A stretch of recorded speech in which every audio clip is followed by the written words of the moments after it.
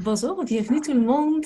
Euh, ça fait toujours plaisir de voir vos visages. Euh, je vois, je, parcours la liste et je suis transportée euh, de Montréal à Sherbrooke, à Québec, à Gatineau,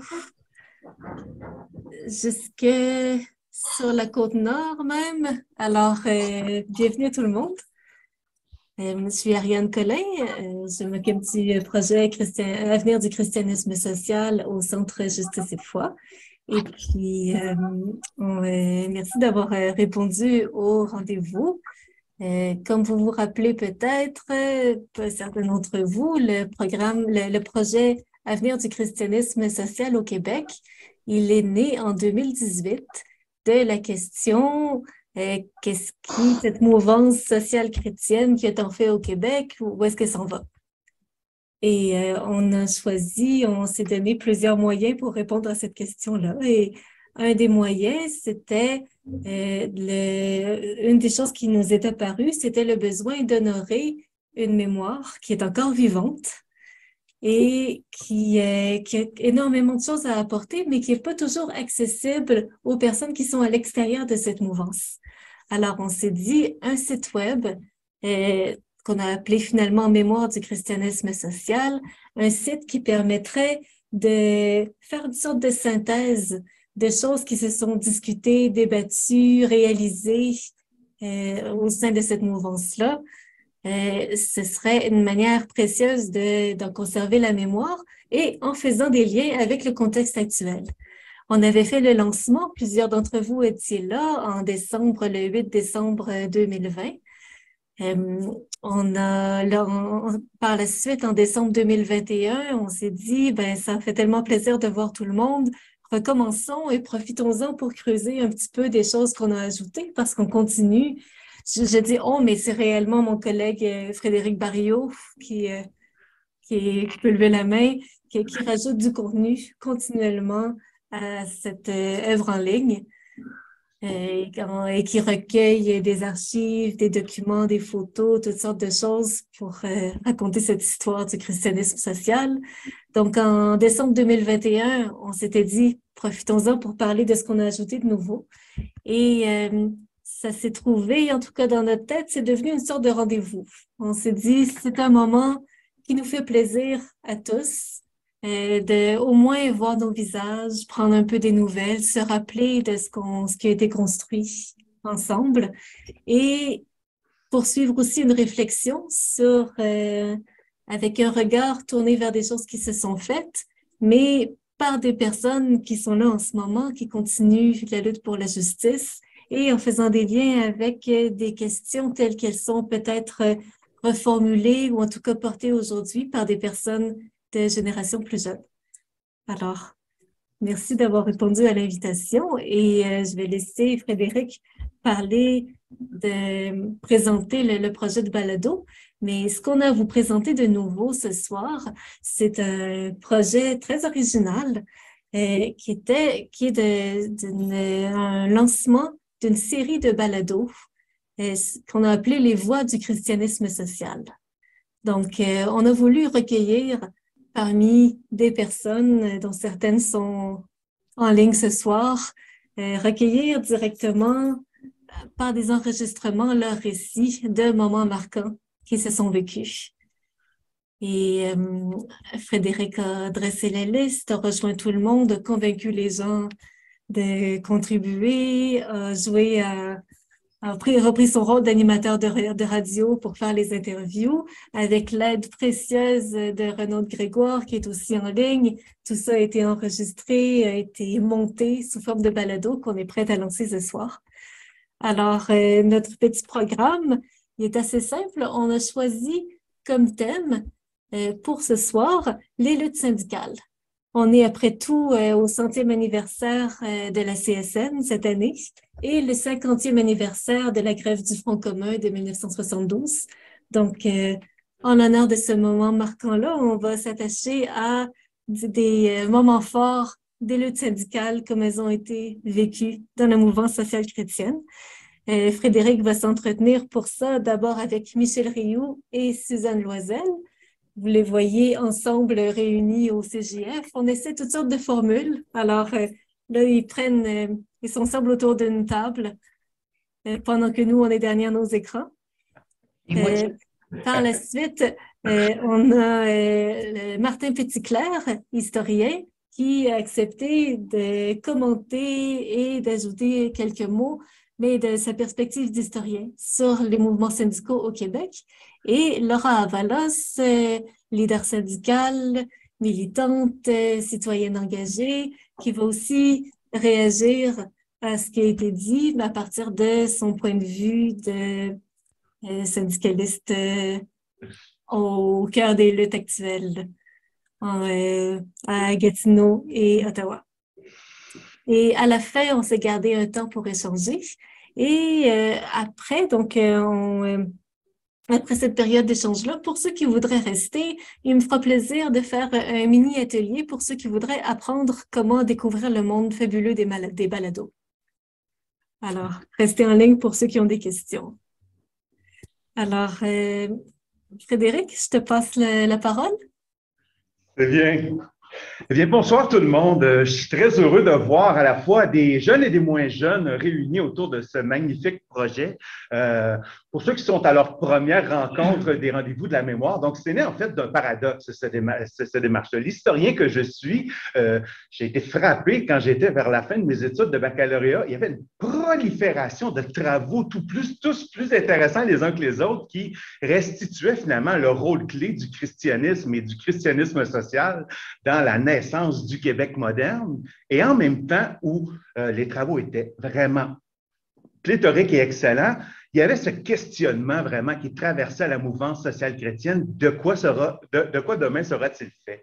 Donc, euh, c'est un peu partir de cette intuition-là, donc euh, celle d'une tradition vivante qui se réactualise perpétuellement. Et pour citer les mots vraiment de la sociologue Danielle Hervieux-Léger, nous situer dans une lignée croyante et militante d'une certaine façon. Donc, des gens qui, les gens qui témoignent aujourd'hui de la force révolutionnaire et radicale de l'Évangile sont situés eux-mêmes dans une lignée qui a vraiment plusieurs siècles en arrière d'elle, voire des millénaires. Donc, c'est un peu ce qui a été vraiment l'intuition de départ euh, de cette démarche-là. Ben, MCSQ est un peu vraiment l'aboutissement de ce mémoire du christianisme social au Québec. On s'est dit, on va se doter de vraiment un site web euh, qui n'a pas de prétention encyclopédique, comme le laissait entendre mon cher ami euh, François Gloutenay dans un article de Présence Info, mais on y travaille. On y travaille vraiment de l'alimenter perpétuellement. Euh, on a décidé de faire un pas de plus. On avait déjà des dossiers, on avait déjà des fiches témoins, on avait déjà aussi constitué un certain nombre de, dossiers sur euh, des organismes qui ont été vraiment des, groupes phares de la mouvance sociale chrétienne. On s'est dit, pourquoi pas justement donner la parole aux premiers concernés. Euh, donc, c'est vraiment ce qui a été vraiment la bougie d'allumage. Je ne mentirais pas, hein, le, podcast, le balado, le vent en poupe et nos collègues dans la maison de l'armée euh, et surtout au sein de l'équipe du Centre justice et avaient passablement expérimenté la formule. Donc, on ne partait pas non plus les mains vides, mais ça a été vraiment l'élément déclencheur vraiment pour se lancer dans, dans ce désir, dans ce désir vraiment de donner la parole euh, aux vétérans et vétérans euh, de la mouvance. Ben, d'entrée de jeu, hein, je voudrais surtout remercier Renaud Grégoire. Non seulement a-t-elle été la cheville ouvrière vraiment euh, de, ce projet de balado, mais surtout, elle en, est, elle en a été aussi l'idéatrice. Hein. Vraiment, elle a eu cette idée, cette intuition forte qu'elle a partagée avec moi, avec Elisabeth à l'époque, mais aussi avec toute l'équipe du comité porteur, de l'urgence, de l'urgence vraiment d'aller chercher ces testaments spirituels euh, de militantes et militants euh, et de les interpréter évidemment avec le regard qui est le nôtre. Euh, donc, non seulement elle a vraiment été l'idéatrice, mais aussi elle nous a mis euh, sur la route d'abord de la Congrégation des Sœurs de Sainte-Anne et bientôt de la Fondation Lucien Labelle qui ont rendu vraiment cette production-là et cette post-production-là possible. Donc, je veux remercier évidemment Renaud et les bailleurs de fonds qu'on vient d'évoquer, donc la Congrégation des Sœurs de Sainte-Anne et la Fondation Lucien Labelle, mais aussi mes, mes chers collègues, Ariane Collin Elisabeth Garand et Lydia Cobena, qui ont aussi préparé, voire réalisé certaines des entrevues que vous allez pouvoir entendre euh, donc, euh, sur, euh, sur le balado dont il va être grandement question ce soir. Enfin, l'irremplaçable Sylvain Bouchard avec son, son, soutien technique et administratif sans qui rien de tout ceci ne serait possible. Donc, le balado, voix du christianisme social. Ceux qui ont vu le logo, vous avez sans doute remarqué le jeu de mots. On voit le voix X et le ES. On voulait, je l'ai dit d'entrée de jeu, entendre ces voix, hein, entendre ces voix, entendre la passion de ces militantes et militants, mais aussi nous raconter la voie qu'ils ont choisie, donc comment ils ont fait la jonction dans leur trajectoire de vie entre la foi chrétienne incandescente, euh, euh, d'une part, et d'autre part, ce désir de s'engager pour transformer la société dans différentes luttes. Euh, j'ajouterais peut-être en faisant un clin d'œil à Serge Bouchard, les chemins de traverse dans bien des cas que ça peut représenter. Euh, donc, au cours des, derniers mois, on, a, produit en fait en tout huit des dix balados. On se rattrape tranquillement, huit des dix balados euh, qu'on avait promis. Donc, d'abord, sur les luttes écologistes, mon éminent collègue André Beauchamp euh, le théologien Michel Baudin aussi, qui nous a restitué dans le temps long, euh, donc euh, en deux balados par ailleurs, l'intarissable Michel Baudin, donc sur l'histoire longue de la mouvance sociale chrétienne. Pierrette Bertrand, que je vois ce soir sur ses engagements féministes au sein de l'Association des religieuses pour les droits des femmes. Enfin, je suis allé faire un tour à Québec euh, hein, après le, merveilleux lancement des 26-27 mai. Euh, je suis allé voir nos amis de la base ville de Québec, euh, donc Nicole Tremblay d'une part, sur ses engagements au sein du comité des citoyennes et citoyens du quartier Saint-Sauveur, et aussi Paul Yvon Blanchette, à la fois dans le mouvement des travailleurs chrétiens d'une part, mais surtout dans les luttes pour les coopératives d'habitation et les coopératives aussi de construction. Et tout ça, évidemment, était dans les, signes des temps hein, avec cette crise du logement euh, qui frappe. On voulait vraiment donner une profondeur historique à ces luttes-là euh, qui sont menées encore, euh, encore aujourd'hui à l'huile de bras par un grand nombre de militants. Et enfin, les derniers, mais non les moindres, je suis content d'être flanqué de, de, donc de Michel Rioux d'abord et de Suzanne Loisel aussi à propos de leurs engagements sociaux et syndicaux. Pour certains d'entre vous, ça va peut-être être une découverte dans le cas de Suzanne Loisel. Pour d'autres, c'est peut-être très bien connu. Donc, c'est un peu à cela que je nous convie euh, ensemble ce soir. C'est bien? Bien, allons-y. Donc, euh, dans un premier temps, donc, je voudrais revenir euh, en ce cinquantième de la grève du Front commun, mais aussi ce centième, euh, ce centième anniversaire donc, de, de la CSN, le merveilleux numéro du bulletin d'histoire politique qui a consacré tout son dossier. Donc, revenir donc sur la contribution des chrétiennes et chrétiens aux grandes luttes syndicales des années 70 à mon texte, si vous me permettez. Donc, depuis quelques années, on redécouvre les racines catholiques et chrétiennes de la Révolution tranquille, notamment le rôle joué par le dominicain Georges-Henri Lévesque et son école des sciences sociales, si j'ose dire, mais aussi et surtout l'influence du personnalisme chrétien d'Emmanuel Mounier sur les militantes et militants d'action catholique spécialisée. Il se développe alors un souci pour la dignité de la personne humaine, dont les besoins matériels et spirituels doivent être au cœur des préoccupations de l'État québécois. Un État en mode rattrapage après des décennies de duplessisme et qui développe alors tout un ensemble d'institutions publiques et de programmes sociaux. Or, qui dit État-providence dit aussi, et de la social-démocratie, euh, dit aussi croissance importante du nombre de travailleuses et de travailleurs du secteur public et parapublic dans ce qui va être la révolution tranquille. On pense aux écoles publiques, on pense aux hôpitaux, on pense aux cégeps, aux universités de l'UQ, dont je suis un digne et fier produit, euh, des CLSC ou encore d'autres services publics de la province des travailleuses et travailleurs dont le sort est loin d'être enviable, comme d'ailleurs l'ensemble de la classe ouvrière qui tarde encore à goûter aux fruits de la prospérité des Trente Glorieuses.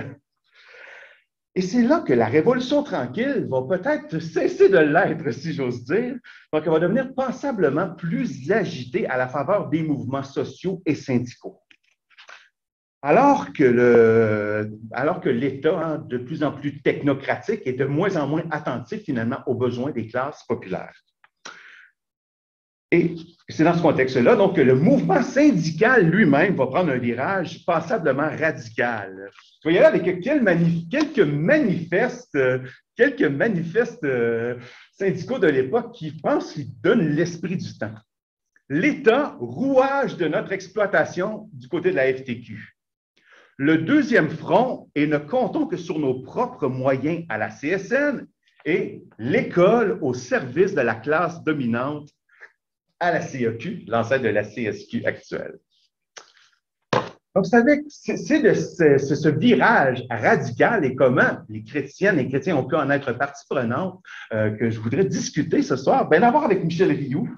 Euh, à tout honneur, euh, puisqu'on parle de CSN ce soir. Donc, figure bien connue de la mouvance sociale chrétienne, Michel Rioux est étroitement associé à l'histoire des journées sociales du Québec, avec d'autres, évidemment. Je ne voudrais pas vexer gens qui sont présents ce soir.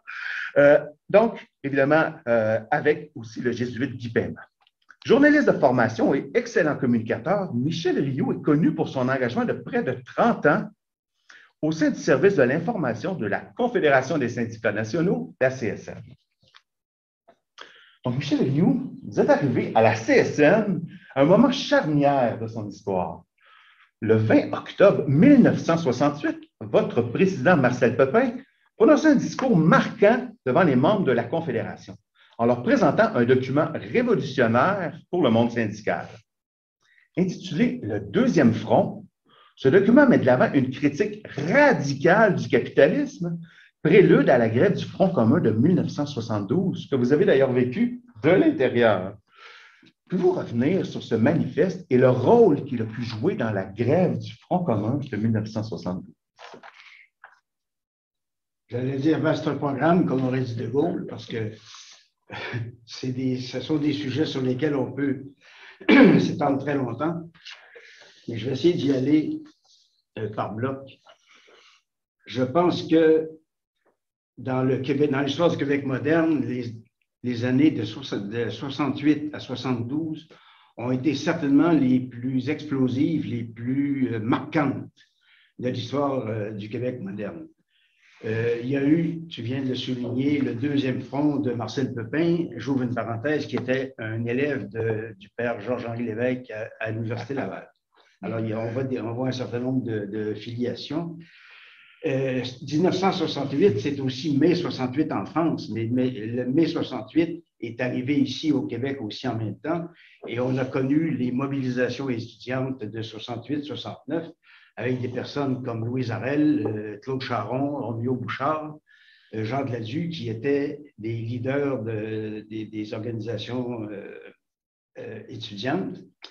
En 1969, il y a la fameuse mobilisation pour la défense de la langue française. On se souviendra de la crise de Saint-Léonard, où euh, les parents italiens voulaient envoyer leurs enfants à l'école anglaise et où l'Union nationale avait passé ce qu'on appelle le Bill 63, qui donnait le libre choix euh, aux parents pour envoyer leurs enfants soit à l'école anglaise, soit à l'école française. Heureusement, cette loi-là a été euh, rapidement mise sur les tablettes parce que on serait pas, 50 ans plus tard, aujourd'hui, on ne serait pas dans la situation dans laquelle on est si jamais cette loi absolument euh, exécrable avait été appliquée. Est-ce qu'il est besoin de rappeler que 1970, c'est la crise d'octobre? Euh, la crise d'octobre avec toutes les conséquences que ça, a pu avoir, une crise d'octobre que j'ai vécue de très, très de l'intérieur. Jour de, la mort de Pierre Laporte, euh, le président de la FTQ, de la CSN et de la CEQ, Charbonneau, Pepin, Laberge, Claude Ryan de Roy et René Lévesque ont fait une conférence de presse conjointe. Et c'est moi qui ai eu l'honneur à l'époque d'écrire le communiqué conjoint. C'était au même moment où se discutait au Québec euh, l'introduction d'un régime d'assurance santé publique. On se souviendra qu'au moment même où il y avait des deux prisonniers qui étaient retenus par le FLQ, les médecins spécialistes très corporatistes ont déclenché une grève. certains d'entre vous s'en souviendront sans doute, pour voir de quel côté souvent la fibre sociale de ces personnes parmi les plus, euh, les plus choyées de nos sociétés ne vibre pas très fort. En 1971, il y a la fameuse grève de la presse où une manifestante a été euh, piétinée, écrasée. Euh, Frédéric le rappelait, les trois, les trois manifestes syndicaux, celui de la CSN en octobre 71, celui de la FTQ en décembre 72 et celui de la CEQ en mars, euh, euh, celui de la CEQ en mai 72. J'ai je, brossé ce, tableau très, très, très, très rapide pour, euh, pour montrer à quel point c'était une société en ébullition qui faisait à la fois du rattrapage et à la fois de la projection, du rattrapage sur ce qui, sur ce qui restait encore à faire et la projection sur tous les travaux sur toutes les consolidations, sur toutes les constructions qu'un Québec moderne aurait à faire ultérieurement. Le deuxième front, on m'a invité à en parler, le deuxième front n'est pas venu de façon euh, sui generis comme ça. Ça a été précédé d'abord par une prise de conscience au milieu, dans le mouvement syndical. Ils se sont rendus compte au début des années 60, Marcel Pepin, qui était à l'époque secrétaire général, il y a eu une grève, une importante grève à la Shawinigan Chemicals à, Shawinigan en 62-63. C'est Pierre Vadeboncoeur qui était le négociateur et ils se sont rendus compte que les gains obtenus par la négociation de la convention collective, dès le moment où les travailleurs sortaient de l'usine, ces gains-là disparaissaient dans des compagnies de finance, dans des compagnies d'acceptance, dans des compagnies euh, qui faisaient du prêt usuraire, etc.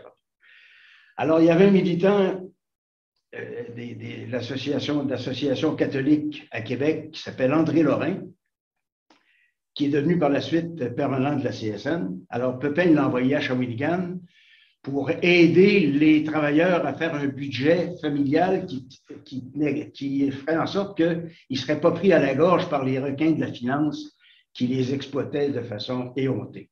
Ça a été un succès à Shawinigan. Et les, ouvriers de la, métallurgie du Saguenay, euh, deux ou trois ans plus tard, ont demandé à Lorrain de venir, euh, de venir dans, la, dans, la, région du Saguenay pour faire le même job qu'il avait, avait, fait à Shawinigan. Alors, les syndicats, les syndicats, avaient, moi je demeurais à l'époque à Chicoutimi, les syndicats avaient loué le, soir, le samedi soir, avant la partie de hockey, il y avait une émission qui s'appelait Tirons ensemble qui est animé par André Lorrain. Et Lorrain faisait le procès des compagnies de Household Finance, Beneficial Finance, euh, toutes, ces, compagnies de finance-là, qui, ont, qui ont fait des poursuites, au-delà de 200 poursuites, que Lorrain a toutes gagnées.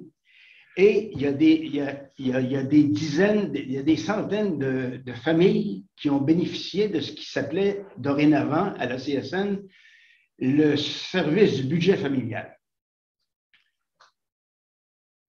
ça a donné lieu, j'ouvre une parenthèse, les, les, avocats, les avocats militants de la région du Saguenay-Lac-Saint-Jean défendaient gratuitement les travailleuses et les travailleurs qui étaient poursuivis par, les, par ces compagnies de, requins, ce qui a donné lieu quatre ans plus tard à l'instauration de l'aide juridique. Et on a remis la médaille du Québec à André Lorrain quelques mois avant qu'il meure en rappelant que c'était lui qui était à l'origine de la création de l'aide juridique qui est venue en aide à des milliers de citoyennes et de citoyens québécois. C'est aussi son action sur le plan de la consommation qui a fait en sorte que soient créées les ACF, les associations coopératives d'économie familiale, qui ont là aussi, elles, soutenu des travailleuses, euh, des travailleuses et des travailleurs euh, aux prises avec euh, avec euh, des, requins qui, demandaient des taux usuraires de 20 à 60, à 60% Alors, quand Pepin écrit dans son deuxième front qu'il faut sortir, il faut aller au-delà de la convention collective et, s'emparer d'une certaine façon du pouvoir, pouvoir politique que les travailleuses et les travailleurs peuvent exercer, ben, ça a eu des conséquences. Euh, ce qui, ce qui s'est passé, c'est que il y a eu le secrétariat d'action politique qui a été mis sur pied, ou auquel ont collaboré Pierre Belboncoeur, André Lheureux et Paul Clich. Et il y a toute une série de revendications qui ont découlé des mobilisations, tu me fais signe quand j'ai trop parlé, qui ont, qui ont, qui ont euh, découlé des mobilisations qui ont été faites. Je les, je les, je les, je les lance rapidement parce que j'y reviendrai, euh, reviendrai tout à l'heure. Euh, l'équité salariale, la nationalisation de l'électricité, non, je ne suis pas dans la bonne page. L'assurance santé, l'assurance automobile, le, déclubage des clubs privés. Il y avait 2000 clubs privés au Québec. La mobilisation de la CSN avec Michel Chartrand a fait en sorte qu'en 1977, le ministre Yves Duhem a déclubé ces, installations privées pour donner libre accès aux lacs et aux territoires de chasse aux travailleuses et aux travailleurs, au monde ordinaire, comme on les a appelés en, 1972. Est-ce que j'ai le temps de parler du Front commun? ben oui, rapidement. Alors, le Front commun, simplement, j'y reviendrai sans doute un peu plus tard. Il y a, trois jours, c'était le 50e anniversaire de la signature de la convention collective, il y a 50 ans, du premier Front commun. Je vous rappelle, je vous rappelle que les présidents ont été emprisonnés pendant un an. Je vous rappelle aussi que la, la revendication fondamentale, acceptée tant par les enseignants qui, étaient au-delà de ce minimum de 100 dollars par semaine que par les employés d'hôpital, etc., qui étaient davantage représentés par la FTQ et la CSN. Le 100 dollars par semaine a été acquis à la fin de la convention collective en 1974. Un autre gain extrêmement important et dont bénéficie aujourd'hui encore, 50 ans plus tard, l'ensemble des travailleuses et des travailleurs du secteur public et parapublic, ça s'appelle le REGOP, c'est-à-dire la mise en place du régime de, de, de caisse de retraite des employés de l'État. Il y en a aussi un troisième gain extrêmement important, je ne sais pas où il y en est aujourd'hui, mais c'était sur la sécurité d'emploi. La sécurité d'emploi, euh, vous vous souvenez qu'à l'époque de Duplessis, puis ça s'est poursuivi avec les libéraux, quand, quand vous n'étiez pas du bon bord, vous étiez éclipsé dehors par à la voirie, etc. Bon. Alors, la sécurité d'emploi, c'est devenu, mais, ah, puis avec l'introduction de ce qu'on a appelé le, la, promotion par ancienneté. Euh, Robert Bourassa, dans une discussion avec, je termine là-dessus, avec, euh, Marcel Pepin, il, dit, il demandait pourquoi il ne fallait pas plutôt privilégier la compétence que l'ancienneté. on a ces jours-ci un exemple très concret quand on laisse au petit cadre qui souvent manque de jugement le soin de déterminer qui aura une promotion, ben, ces petits cadres qui ont, qui ont euh, suspendu une, une, infirmière qui avait mis du beurre de pinot sur sa toast pendant trois jours, une autre qui a mangé un beigne euh, suspendu pendant un mois, c'est que si on leur laisse le soin de déterminer qui aura les promotions plutôt que l'ancienneté, on voit que ça va aller, euh, ça va aller sur le, sur la tête, sur la tête de pipe. Et la, la, notion, la notion de, la notion de justice et d'équité risque de prendre le bord. Je termine là-dessus, mais je pense qu'on va y revenir. Oui, bien, ça, ça reviendra. Euh, je vous invite évidemment à lire euh, l'excellent article de, Michel Rioux dans ce numéro de la revue parce que vraiment, il présente aussi à la fois, donc, euh, on le sait, hein, on ne peut pas ébranler les colonnes du temple comme ça sans qu'il y ait, bien entendu, la troisième loi de Newton, action et réaction. Donc, vous avez participé par ailleurs au documentaire Pouvoir oublier de Pierre-Luc Junet et David Simard sur la grève du Front commun on le sait maintenant, donc, que cette grève a connu une issue aussi brutale que tragique. D'abord, l'emprisonnement des trois chefs syndicaux qui ont mis vraiment le feu aux poudres, mais aussi et surtout vraiment donc la, mort brutale d'un gréviste, Herman Saint-Gelais, lors de la grève de Sept-Îles sur la côte nord. Euh, ben, parlant de cette île et parlant de Côte-Nord, euh, je me permettrai donc de passer à Suzanne Loisel. Donc, euh, Suzanne Loisel, pour bien des gens dans cette salle, vous êtes connue pour vos engagements de longue haleine à l'entraide missionnaire, mais aussi donc au collectif Échec à la guerre et plus près de nous dans cette lutte que je qualifie vraiment de héroïque que vous menez à la RPA Mont-Carmel contre un propriétaire passablement véreux. Euh, vous avez aussi été enseignante et syndicaliste à cette île où vous êtes arrivé en 1974. Alors, me disiez-vous, alors que les braises de la grève du Front commun étaient encore toutes chaudes, et j'allais dire aussi, aussi, bien sûr, les braises de, la mort de cet homme, bien entendu, euh, qui s'est fait écraser donc, par un, un militant antisyndical. Donc, avant d'arriver sur la côte nord, vous avez complété un mémoire de maîtrise en théologie à l'Université de Montréal où vous brossez les contours d'une catéchèse de la conscientisation où vous réclamez donc explicitement, outre de la théologie de la libération, mais donc des fameux manifestes qu'on a mentionnés tout à l'heure, l'école au service de la classe dominante et école et lutte des classes, produits par la CEQ euh, au milieu des années 70, au début des années 70. Donc, Suzanne Noiselle, de quelle manière ces manifestes ont-ils teinté vos choix pédagogiques, d'une part, mais aussi vos engagements syndicaux euh, en arrivant à cette île? D'abord, bonsoir tout le monde. Je suis contente de retrouver des, visages connus. Euh, évidemment, je serais peut-être plus à l'aise de parler de mes, années à l'entraide qui sont quand même plus proches. évidemment, la lutte actuelle euh, qu'a évoquée euh, Frédéric dans la présentation à Mont-Carmel, parce que je suis là-dedans plusieurs heures par jour, effectivement, contre un propriétaire véreux, vorace, mais ce n'est pas ça qu'on m'a demandé de parler. Mais on me fait faire une plongée euh, assez vertigineuse euh, dans mon histoire et, dans l'histoire euh, du Québec. Écoutez, je réalise que je parle d'événements il y a 50 ans. c'est comme un petit coup de vieux. Mais en même temps, comment ces années m'ont marqué. Et effectivement, il y a des événements euh, que Michel a évoqués, qui ont fait partie de mon cheminement, je ne répéterai pas, mais qui ont aussi euh, marqué ma trajectoire. Et quand Frédéric soulève la question des, euh, des différentes publications de la CEQ dans les années 72, 73, 75, il a oublié en passant le manuel du 1er mai qui a été aussi assez déterminant. Comment ceci a influencé ben, je dirais par le contenu, par des affinités idéologiques, et puis par le fait que ces outils-là ont créé une dynamique entre les travailleurs et les travailleuses de l'enseignement.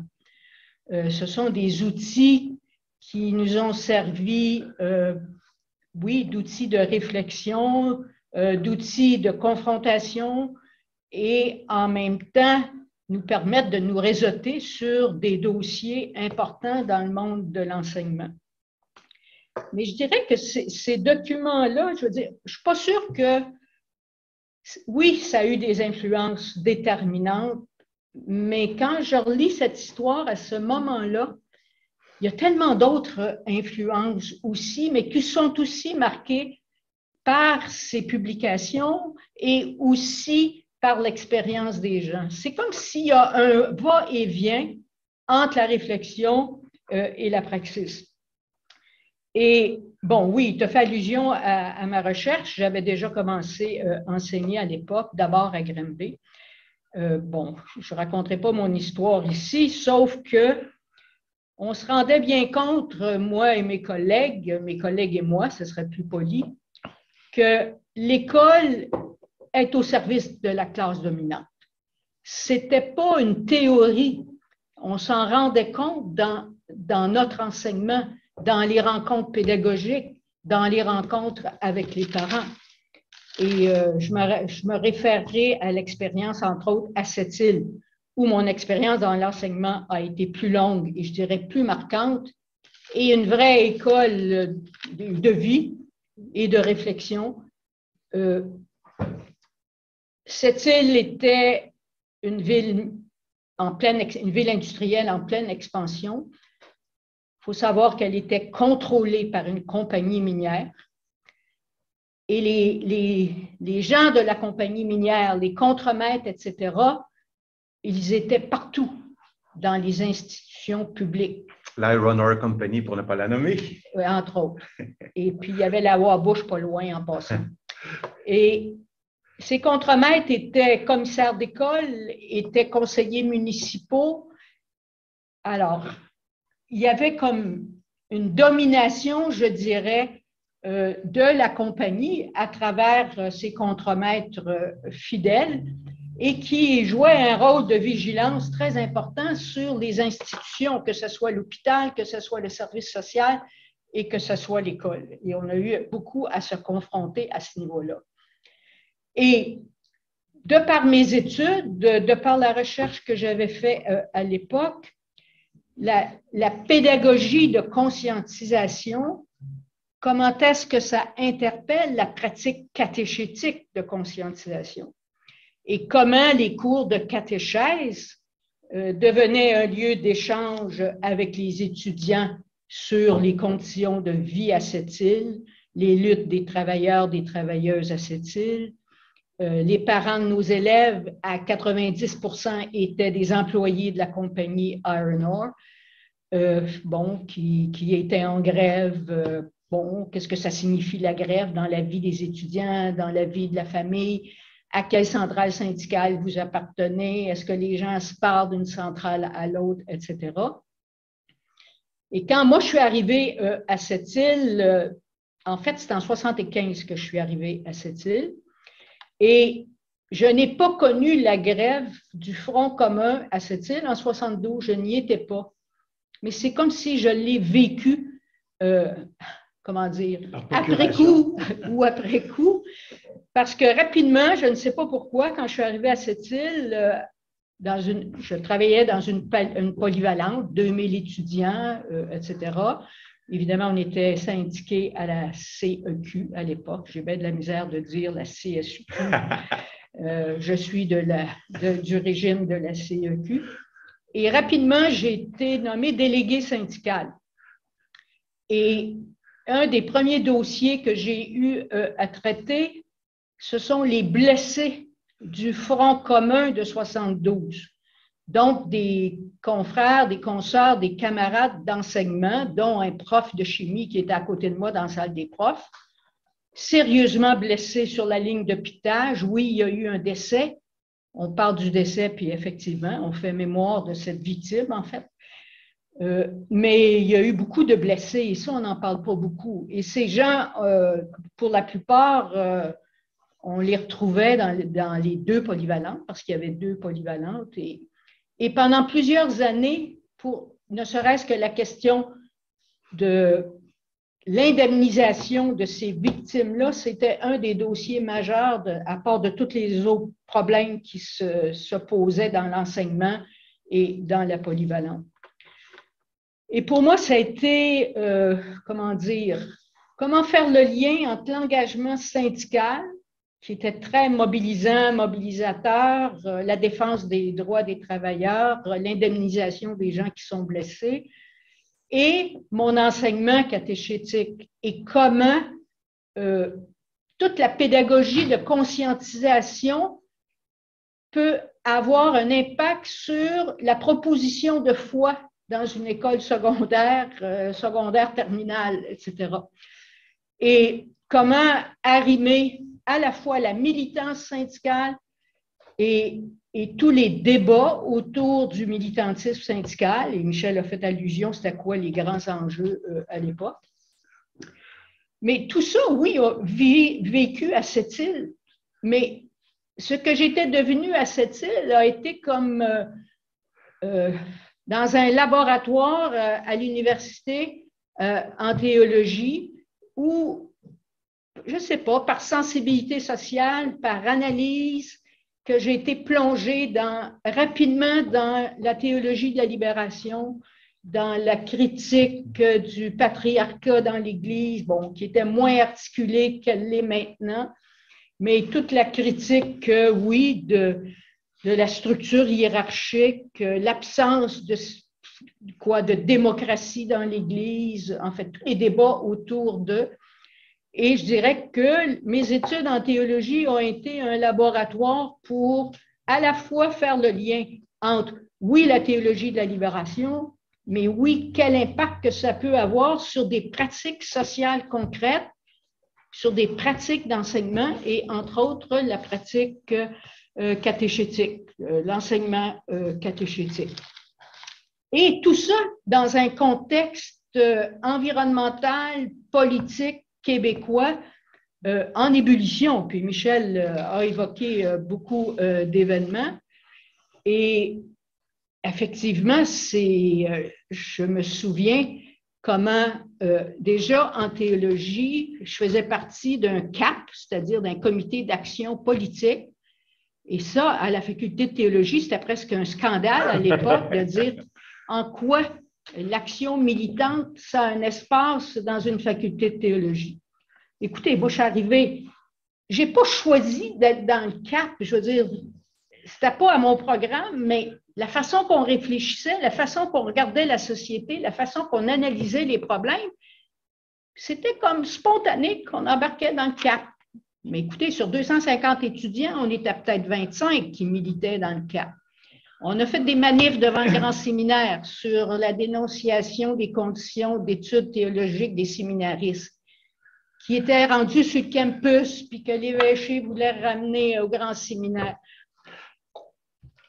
J'apporte ces éléments-là pour dire que quelque part, la conscientisation dans l'analyse sociale, dans la façon d'appréhender le réel, de regarder le monde dans lequel on est, de regarder la politique municipale, provinciale, c'est marqué par, oui, des recherches, des analyses, des échanges, mais aussi comment ça a un impact sur notre enseignement et, entre autres, en ce qui me concerne, la pratique catéchétique. Et pour moi, qu'est-ce qui était le cœur de l'enseignement? C'était la vie concrète des jeunes à cette île dans une ville industrielle où les conditions de travail étaient telles, où il y avait beaucoup de grèves, où on a vécu beaucoup de fronts communs. Je pense que le temps que j'ai été dix ans à cette île, je pense que j'ai vécu au moins quatre fronts communs et quelques lois spéciales. Il y a un spécialiste des lois spéciales qui va en parler. Euh, j'en ai connu un certain nombre. J'ai connu euh, la matraque, j'ai connu, euh, oui, il y a eu 72, mais il y a eu 75, puis il y a eu 78 et 83 qui était une bataille costaude, costaude et c'est qui nous a valu la loi 111 avec des pénalités. Ben, je vais laisser le ben spécialiste, mais moi j'ai vécu ça sur la ligne de pitage et j'ai vécu ça concrètement. Donc, je ne sais pas s'il me reste du temps. Je, vois, que, je vois que Frédéric. Ben, écoutez, j'ai deux, j'ai deux magnifiques personnes avec un parcours de vie d'une richesse inouïe. On va s'en garder, en fait, pour la période d'échange qui va suivre. Écoutez, j'avais même prévu une question sur les politisés chrétiens. Il y a une date qu'on oublie, en 1973. On va célébrer l'an prochain le 50e anniversaire du coup d'État au Chili et qui a mené notamment à la fondation du réseau des politisés chrétiens, mais aussi qui est un moment fondateur de la gauche québécoise. Donc, euh, visiblement, l'an prochain, mesdames et messieurs, euh, j'irai solliciter certains d'entre vous qui l'ont vécu euh, de l'intérieur.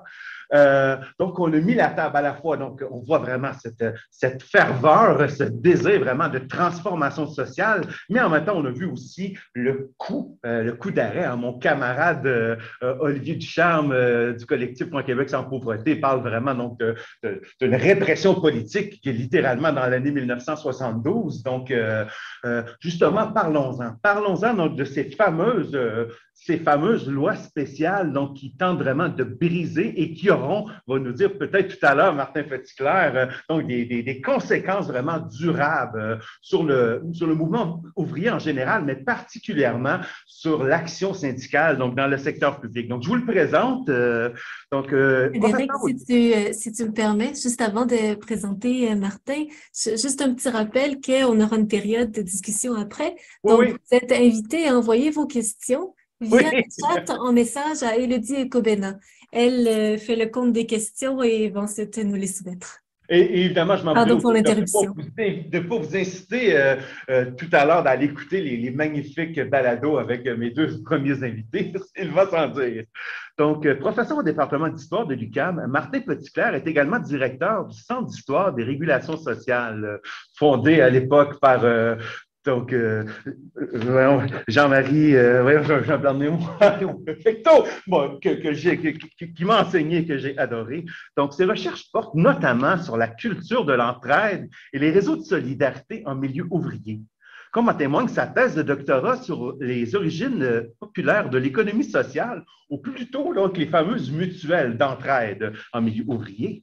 Euh, je pense aussi à l'exposition Déjouer la fatalité présentée à l'écomusée du Fiermont et dont il a été le directeur scientifique. Euh, vous allez voir dans le, dans, le, dans le chat, on commence à vous partager certains liens, on vous enverra tout ça après coup, il va s'en dire.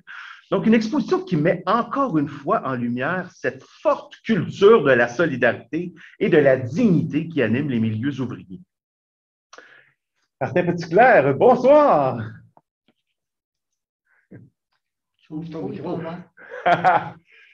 Le micro est pas Ah oui, Sylvain, s'il te plaît.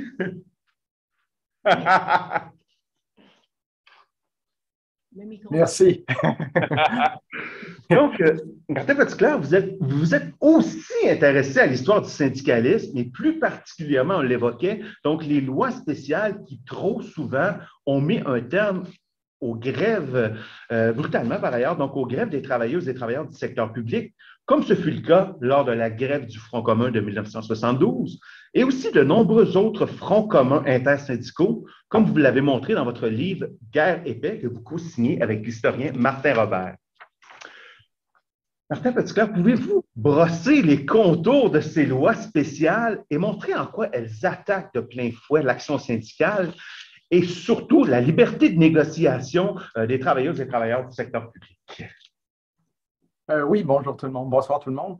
Euh, merci, vaste programme, comme disait Michel tout à l'heure, d'expliquer tout ça en quelques minutes. Mais d'abord, je voudrais vous, vous remercier de, cette belle invitation. C'est vraiment, je suis touché par, ben, je suis touché par l'invitation et je suis vraiment heureux aussi de, pouvoir partager la, la parole avec, euh, avec Michel, Suzanne et, et, Laura.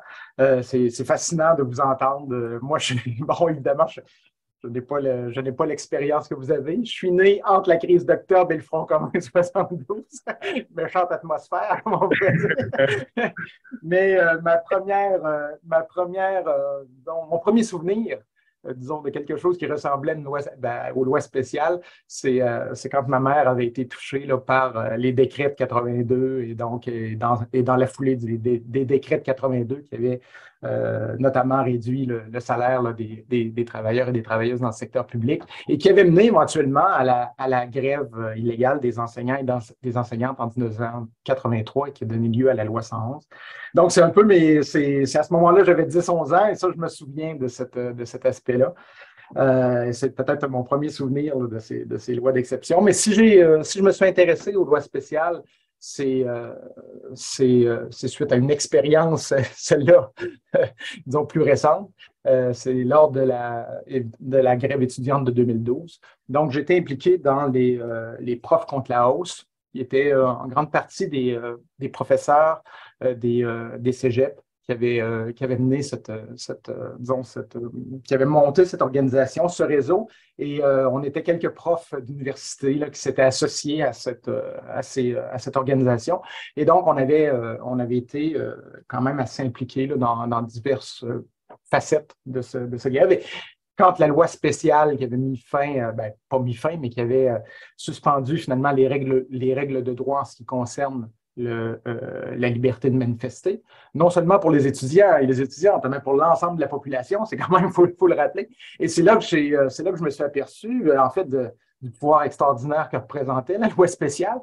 C'est là que j'ai commencé à me questionner vraiment, de me dire, mais c'est quand même fou que, qu'un, gouvernement puisse, du jour au lendemain, hein, en, quasiment en plein, en plein milieu de la nuit, fasse adopter une loi le, jeudi soir, je me semble que euh, c'est le vendredi qui avait été, euh, je pense que c'est le vendredi qui a été adopté la loi, mais le jeudi soir, on a le droit de manifester et on a des, libertés et tout ça. Et le vendredi matin, euh, en grande partie, ben là, si on, notre droit de manifester était considérablement restreint. Et ce n'est pas quelque chose d'anodin dans une société démocratique, le droit de manifester. Et ça s'était fait, encore une fois, d'une façon assez brutale, très, très rapide. Euh, euh, presque en plein milieu de la nuit, euh, à l'Assemblée nationale. Et donc, sans discussion avec la société civile, hein, quand même, le, le, droit de manifester, c'est un droit qui appartient à la société civile et le gouvernement décide de de, de, baliser et de restreindre considérablement ce, droit-là. Et donc, ça m'avait évidemment choqué. Donc, j'avais été fasciné par le mouvement des casseroles, vous vous rappelez sans doute. Et là, il, y avait une politisation, en fait, hein, de la société civile, des revendications contre euh, ben, contre la, législation d'exception, les lois spéciales. Donc, il y avait une dimension politique à, la, disons, cette, à cette résistance à la loi spéciale que j'avais trouvée évidemment euh, euh, fascinante. Et c'est à ce moment-là que, bon, ben, je me suis dit, en tant qu'historien, historien, en tant qu'historien, je vais, je vais, je vais m'intéresser à ce sujet-là. Et donc, j'ai fait une sorte de travail d'archéologie. J'ai parti en février de 2012 et j'ai reculé, j'ai reculé. Et là, ben, c'est mon vieux travers euh, d'historien. J'ai remonté très, très loin, au milieu du 19e siècle. Mais euh, c'était quelque chose euh, qui, me, qui, me, fascinait. Donc, j'ai essayé de voir quelle était, disons, l'origine du, du droit de grève, de la liberté de grève, plutôt, au milieu du 19e siècle, et comment cette liberté de grève avait été de plus en plus encadrée par le droit, par la législation, etc. Et c'est dans ce contexte-là, donc, qu'est apparue la législation d'exception. Et c'est ce qui m'a évidemment intéressé et euh, dont je vais vous parler très, très rapidement euh, aujourd'hui. Essentiellement, ce que je veux euh, vous dire, c'est que pour, donc pour comprendre les lois spéciales, on peut, on peut, on peut ramener le, phénomène à trois, trois caractéristiques principales. D'une part, ben, c'est au, Parlement. On suspend les règles habituelles d'adoption d'une loi qui peuvent prendre énormément de temps. Hein. Ça peut prendre des mois, des semaines. Euh, il y a des comités qui vont étudier les, diverses dispositions, mais là, on décide de suspendre toutes ces règles-là et on, ouvre finalement une session exceptionnelle euh, du, Parlement, de l'Assemblée nationale. Et là, ben, en, quelques heures, en 10-12 heures, on, présente une loi et on l'adopte et, euh, évidemment, c'est fait essentiellement non, c'est l'adoption d'une loi à, marche forcée, euh, notamment lorsqu'un gouvernement est majoritaire à l'Assemblée, donc il peut faire passer la loi. Et ça, se fait comme ça. Donc, une suspension des règles démocratiques d'adoption d'une loi, c'est la première caractéristique de ce qu'on appelle une législation d'exception. Euh, généralement, le gouvernement va, euh, va dire ben, il y a une situation d'urgence, hein, il faut répondre rapidement à une situation exceptionnelle et donc on va suspendre les règles d'adoption d'une loi et on va faire adopter la loi spéciale. Euh, la chose à retenir de, cette, de, cette, de, cette de, cet aspect-là, c'est que c'est le gouvernement qui décide s'il y a une urgence ou s'il n'y en a pas. Et euh, c'est le gouvernement, c'est la prérogative du gouvernement. Et donc, on a vu euh, dans, dans, mes, dans, mon analyse, dans notre analyse des lois spéciales, on a vu des moments où la, le gouvernement a simplement prétexté que finalement, les demandes syndicales auraient un impact trop grand sur les finances publiques. Et là, ça, c'était pour lui une situation exceptionnelle et ça justifiait l'adoption d'une loi spéciale.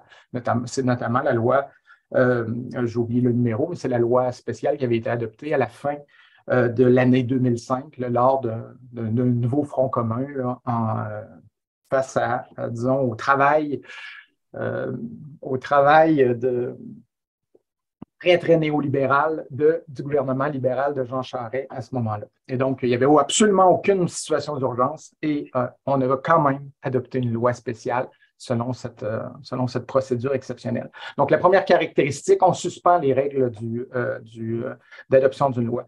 La deuxième caractéristique, et c'est pourquoi donc, les lois spéciales dont font référence à la, aux, relations de travail, mais généralement, elles font généralement référence aux relations de travail, c'est que ça suspend l'application de certaines règles de droit, notamment du droit du travail. Euh, on va suspendre généralement le droit de grève, évidemment, pour ordonner les travailleurs et les travailleuses qui sont en grève au, euh, au euh, ben, leur donner leur retour au travail. mais bon, on va suspendre le droit à la négociation collective. donc, il y a plusieurs droits comme ça qui peuvent être mis en cause par euh, la, loi spéciale. La principale, en tout cas celle qui nous a intéressé le plus, c'était la loi spéciale qui ordonnait aux travailleurs, aux travailleuses euh, de retourner au travail. Donc, c'est la, euh, deuxième caractéristique, la, principale, ce qui veut dire essentiellement que, ben, comme je le disais tout à l'heure, un jeudi après-midi, des travailleurs et des travailleuses peuvent avoir le droit de grève, ont suivi toutes les règles du code, du, code du travail, sont en grève, c'est une grève légale, tout ça. Et le vendredi matin, la, même grève est devenue illégale parce que l'Assemblée nationale a suspendu les règles de droit. Donc, on enlève vraiment d'une façon autoritaire les, le, droit de grève aux, syndiqués. La troisième caractéristique, ben, c'est qu'on suspend les règles de droit en ce qui concerne, disons, la, sanction de la désobéissance civile. Euh, essentiellement, ce qu'on va faire, c'est qu'on va mettre dans les lois spéciales, et c'est vraiment euh, le cœur du dispositif, si on peut dire, on va mettre des pénalités extrêmement répressives euh, qui n'ont aucune commune mesure avec l'acte visé. On va, pour une demi-journée de grève, on va menacer de, couper trois ans d'ancienneté, des choses comme ça. Donc, vous voyez, le principe de base en droit dans une société libérale, c'est que la peine soit proportionnelle, disons, au, délit, si on peut dire, là, il n'y a aucune proportionnalité. C'est, on, vise essentiellement à tuer un mouvement de grève. Donc, ce sont les trois, euh, les trois caractéristiques. Euh, je ne sais pas s'il me reste du temps. On pourrait, euh, on pourrait parler de quelques, de quelques lois spéciales, dont celle de, de 72 qui a été évoquée par Michel ou euh, celle de, de, 83 qui a été évoquée par Suzanne. Mais disons, il y en a plusieurs comme ça qui, pourraient faire l'objet d'une discussion. J'ai presque envie, en fait, de garder ça pour la période de questions. J'avais justement, on a, à notre discussion préalable, j'aurais aussi voulu vous entendre parler donc, ah. des stratégies de résistance, peut-être ben, peut en évoquer quelques-unes. Comment, comment les travailleuses et travailleurs, finalement, et aussi la société civile, mm-hmm. Euh, résiste à, ces, lois matraques? Euh? Ben, je, peux aller très rapidement, mais je vais quand même, j'ai oublié de vous dire une chose, c'est qu'on parle de loi d'exception en pensant que c'est exceptionnel, mais on a quand même compté l'ensemble des lois spéciales, donc entre 64 et 2014, euh, donc en 50 ans, il y a eu 40 lois spéciales au, provincial et il y en a eu 20 au, Parlement fédéral qui s'appliquaient à des, travailleurs et des travailleuses québécois. Et donc, euh, donc euh, il y avait donc 60 lois spéciales qui s'appliquaient aux, salariés québécois en 50 ans. Donc, ce n'est pas si exceptionnel que ça. En ce qui concerne les, euh, les, les, diverses stratégies, je verrai très rapidement, mais on pourrait y revenir. une, une, puis ce qui est intéressant, c'est que ces stratégies-là, on les, disons, sont dominantes à certaines époques. dans les années 70, euh, comme, euh, comme le disaient euh, Michel et, Suzanne, c'est plus une. On défie la loi spéciale. Hein. On, est vraiment dans une politisation de la désobéissance civile. Et là, on a des affrontements, mais vraiment, disons, entre les, chefs syndicaux et le gouvernement. Et c'est vraiment des, des, affrontements très, très politiques et très, très qui divise énormément la société québécoise. Dans les années 80, on, notamment la loi 111 en 83 contre les enseignants et les enseignantes, c'est vraiment la bombe atomique des lois spéciales. C'est celle qui va être la plus, la plus sévère euh, dans l'histoire du Canada, hein, pas juste au Québec, dans l'histoire du Canada. C'est vraiment une loi liberticide euh, elles le sont toutes, mais la loi de 83 est, vraiment extrêmement, extrêmement, extrêmement répressive. Et à partir de ce moment-là, ben, on n'a plus ces grands affrontements politiques, euh, je dirais, entre le mouvement syndical et le, et, le, et le, gouvernement. Et là, on est plus dans les stratégies très, très, euh, très, très, disons, militantes, mais sur les lieux de travail. Et on va le voir, par exemple, avec les grèves des infirmières, qui vont être des grèves extraordinaires, très, très, avec énormément de mobilisation sur les lieux de travail, qui vont être capables de résister à diverses dispositions des lois spéciales. Mais disons que c'est quelque chose qui peut se produire dans un syndicat avec une identité professionnelle très, très forte. Euh, c'est pas facile de faire ça dans des dans d'autres syndicats et je suis même pas sûr que les, les, syndicats des infirmières pourraient le faire encore aujourd'hui. C'est vraiment, ça demande des circonstances vraiment spéciales. Notre, euh, notre euh, disons, stratégie, c'est la stratégie euh, si on peut dire, judiciaire, euh, notamment après l'adoption de la Charte canadienne des droits et libertés, ben, les, le mouvement syndical va mettre beaucoup d'énergie, euh, beaucoup de ressources en tout cas, euh, dans la contestation judiciaire des, de la législation d'exception, en, en, disons, euh, les, faire déclarer éventuellement inconstitutionnels et tout ça. Et ça a eu un certain succès. D'ailleurs, ça a été au cœur de, la, de la grève euh, des, employés du secteur de l'éducation en Ontario. Là, et je pense que l'Europe va en parler. Mais donc, voilà en gros les, les, les, euh, diverses stratégies qui ont été utilisées par les, syndicats. Martin Petitclerc, merci beaucoup, beaucoup, beaucoup. Euh, ben, c'est ça, déplaçons-nous euh, vers euh, les, rives de l'Outaouais. donc, allez voir notre amie Laura Avalos, donc fille de réfugiés salvadoriens ayant dû quitter les violences, ayant mis le pays d'Oscar Romero et de Rutilio Grande à feu et à sang. Laura Avalos a grandi à Gatineau, en Outaouais, où elle vit d'ailleurs encore toujours. Euh, chrétienne et citoyenne engagée, elle a défendu les couleurs de Québec solidaire dans la circonscription de Gatineau lors de la dernière campagne électorale. Elle est aussi euh, conseillère au Fonds de justice sociale de l'Alliance de la fonction publique du Canada, un syndicat qui défend les droits de près de 230 000 travailleuses et travailleurs à travers le Canada. Dans la foulée de la loi 28 que le gouvernement de Doug Ford a, a présentée et retirée presque aussitôt, euh, donc, on a eu vraiment euh, le goût de, prendre le pouls du dynamisme. Euh, je pense partir à montrer les défis. J'ai le goût de demander à Laura les dynamismes qu'elle observe, donc du, du mouvement syndical. Euh, on manque de temps, donc on ne reviendra pas peut-être sur les enjeux de cette loi-là, d'autant qu'elle a été abrogée, mais tu peux y revenir quand même, Laura, euh, euh ta carte blanche. Mais euh, j'avais surtout vraiment voulu que brosser une espèce de, de, de, finir sur une belle note finalement sur les dynamismes que tu observes en termes de résistance, bien sûr, à ce genre de loi néolibérale et de, de, de loi mammouth d'une part, mais aussi donc les beaux signes d'espérance qui montrent un dynamisme, comme on l'a vu avec euh, l'abrogation de cette loi-là, justement, euh, en Ontario. Oui, merci beaucoup euh, pour cette invitation. je veux premièrement reconnaître humblement et à gratitude que je vis, je travaille sur les magnifiques terres non cédées de la nation algonquine, Anishinaabe. Et euh, c'est vraiment intéressant de voir toute la richesse de nos résistances euh, du mouvement ouvrier syndical et chrétienne. Et c'est euh, incroyable que le 3 novembre 2022, donc il y a à peine un mois, on a vu une nouvelle tentative créative de justement brimer nos droits et libertés pour syndiquer, pour le droit à la négociation, pour le droit à la grève. C'est quelque chose qu'on n'avait jamais vu, puis je trouve que c'est vraiment important de souligner euh, pour faire suite à, le panéliste précédent, de que on a vu en Ontario un gouvernement tellement acharné à vouloir imposer son agenda politique, à imposer une mauvaise convention collective sur euh, un secteur, les, le secteur des travailleurs en éducation, que, ce soit, puis pas nécessairement les profs, mais des gens qui nous aident à la première ligne à ouvrir les écoles, nettoyer les écoles, les éducateurs spécialisés, vraiment les employés, les travailleurs et travailleuses les moins payés de la fonction publique de l'Ontario. Euh, C'était vraiment dégoûtant. Euh, avec cette action, le gouvernement, en imposant le 3 novembre, en, passant cette loi, a réveillé un géant, un nouveau front commun sans précédent qu'on n'avait pas vu depuis des décennies en Ontario, au Canada.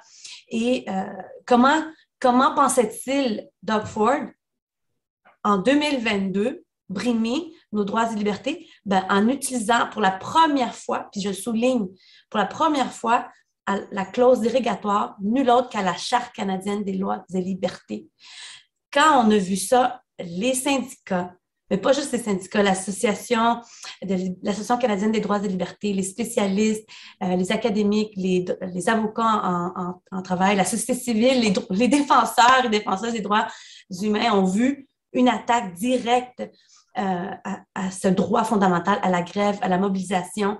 Puis on s'est dit, hey, si on, si on utilise cette clause dérogatoire de la Charte canadienne des droits et libertés en Ontario, ça nous ouvre un, nouveau contexte sans précédent au Canada. Donc, il y a eu immédiatement une réaction sans précédent. Je ne vais jamais oublier le 3, jeudi le 3 novembre.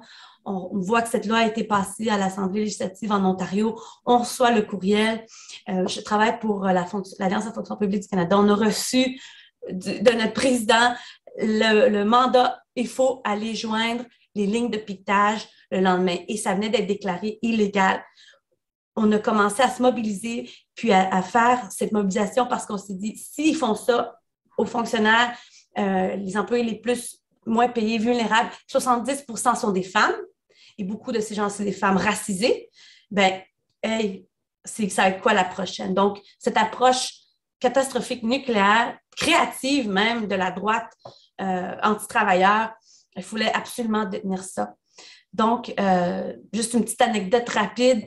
Euh, comme tu as dit, ça a été une fin de semaine. Euh, Doug Ford, ça a fait les manchettes. Les profs, lui, pensait qu'il allait avoir l'appui des parents, mais au contraire, les parents, les étudiants, la société civile, les syndicats, on s'est tous unis. Puis on a fait une conférence de presse le lundi, après une fin de semaine de mobilisation sans précédent. on a vu le président de, de l'Alliance à la fonction publique, voyons, euh, SCUPI, qui est le syndicat canadien de la fonction publique, entouré. J'ai une belle photo de groupe, là, je ne sais pas si je peux la, partager, mais euh, entouré par des leaders syndicaux, autant du secteur privé, public et privé, faire un front commun et dire Hey, si vous êtes, si on vous charge des amendes de, de, 500 000 et de 4 000 par employé, par travailleur, des 57 000, ben nous aussi, on va joindre. Donc, le lundi, le 7 novembre, il y a eu un revirement total. Euh, ça, ça, fait une petite anecdote rapide. J'allais participer à un atelier justement pour faire face à, l'extrême droite dans nos propres mouvements syndicaux. Hein, ça fait partie euh, euh, des, chantiers qu'il faut s'attaquer dans notre mouvement. On allait tous les employés à une ligne de piquetage à 4 heures, mais finalement, cette ligne de piquetage, parce que Ford, en voyant tout ça, s'est euh, mis par en arrière, il a fait l'annonce qu'il allait abroger aussi rapidement comme il avait fait adopter la loi, il allait faire un, recul puis abroger cette fameuse loi euh, anti-travailleurs, travailleuses 28. Donc, on en reçoit le courriel. Bonne nouvelle, Ford recule, la manif devient une célébration. Fait qu'on s'est tous retrouvés à 4 heures devant la cour de l'Ontario. Euh, il, y avait des parents, des, des, syndicalistes, des leaders, mais surtout des travailleurs et travailleuses d'éducation fiers. Tu voyais qu'on venait, de, qu'on venait de réveiller une unité, une solidarité intersyndicale comme on n'a jamais vu depuis des décennies. Puis ils n'avaient plus de voix, mais on a chanté, puis c'était tellement beau à voir. Euh, donc, puis je vois que, tu sais, c'est, euh, c'est, quelque chose, c'est une richesse qu'on, voit de, parcours ici dans le christianisme social euh, au Québec. Mais dans le reste du Canada, on ne l'avait pas vu autant. Donc, c'est vraiment quelque chose d'inspirant. Euh, moi, je peux vous dire que, euh, pour répondre à ta question, euh, Frédéric, pour la suite, hein, quel dynamisme qu'on voit? Bien, définitivement, dans le mouvement syndical au Canada, autant qu'au Québec, il faut absolument faire face à trois chantiers. Il y en a d'autres, mais j'ai décidé de concentrer sur ces trois grands axes de lutte dans, les prochaines, dans la prochaine année. Un, l'inflation. On n'a jamais vu euh, euh, une pénurie de main-d'œuvre, une fonction publique. Hein, je, travaille avec l'Alliance de la fonction publique du Canada. On représente 15 euh, syndicats qui, sont affiliés à nous partout au Canada.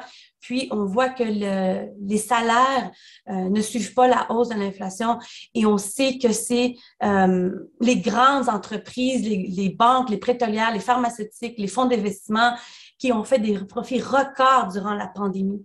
Donc, ça, c'est quelque chose qu'on ne peut pas accepter que des gens, je reviens à ces travailleurs et travailleuses, surtout les femmes de, l'éducation, ils travaillent à temps plein, mais ils doivent, on, a vu des témoignages qui doivent aller aux banques alimentaires. C'est inacceptable. Euh, et, c'est important de protéger nos travailleurs et travailleuses, avoir des bonnes conditions de travail et des salaires et ça, ça fait partie de nos valeurs de protéger et défendre des services et des institutions publiques, euh, donc pour la qualité de nos institutions publiques. Donc ça, c'est un premier chantier. Rapidement, un deuxième grand chantier, c'est la justice climatique. Euh, ça va être important de défaire ce narratif. Puis surtout, on l'a vu dans les élections du Québec, comme tu as mentionné, j'ai fait partie de, euh, en tant que candidate, je me suis présentée. On a vu un discours qui mettait les bons emplois syndiqués contre l'environnement. Ah, mais nous, on croit fermement que faire face à, la crise climatique, c'est aussi une question de justice sociale et d'une transition juste pour nos travailleurs et travailleuses. Donc, c'est important d'accompagner cette transition juste et on sait que le Québec et, le Canada ont un potentiel d'être leader dans, euh, cette mouvance. Et euh, un petit clin d'œil à la COP 15 qui a lieu à Montréal en ce moment, on voit que c'est important comme mouvement syndicaux, c'est important d'appuyer euh, les mouvements de la société civile, les mouvements pour la justice climatique, une transition juste de notre économie vers, une société avec un développement durable et de pair avec notre environnement. Et finalement, troisième grand chantier où je suis très particulièrement investie, c'est la lutte contre le racisme systémique.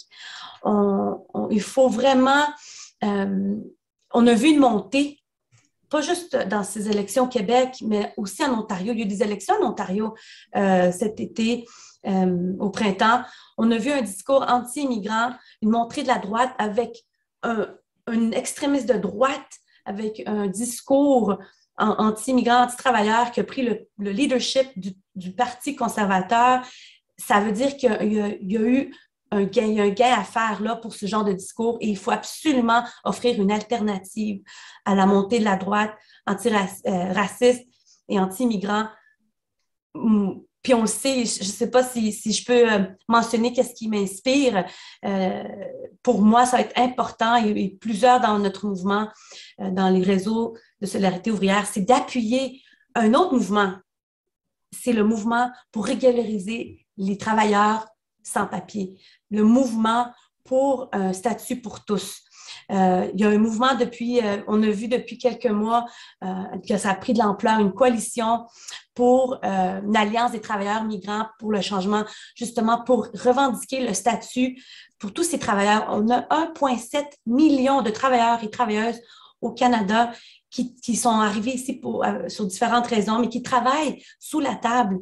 Je crois qu'il faut absolument pousser et on, est à la veille de la Journée internationale des droits de la personne, des droits humains, et ces gens-là méritent euh, d'être leur dignité. C'est incroyable. On les accepte. S'ils sont assez bons pour être ici, pour travailler, ils sont aussi bons pour avoir un statut. Et c'est pour le futur de notre mouvement ouvrier. On sait que ces gens-là euh, en, en, reconnaissant leur droit à la dignité, à avoir un droit des conditions de travail non d'esclavagisme, d'exploitation, en, leur régularisant leur statut, on sait que ces gens-là vont être des futurs cadres et des leaders de notre mouvement ouvrier. Donc, c'est bon pour nous d'appuyer ces gens-là. Euh, c'est la base d'une société, c'est un reflet de comment on, traite nos plus vulnérables.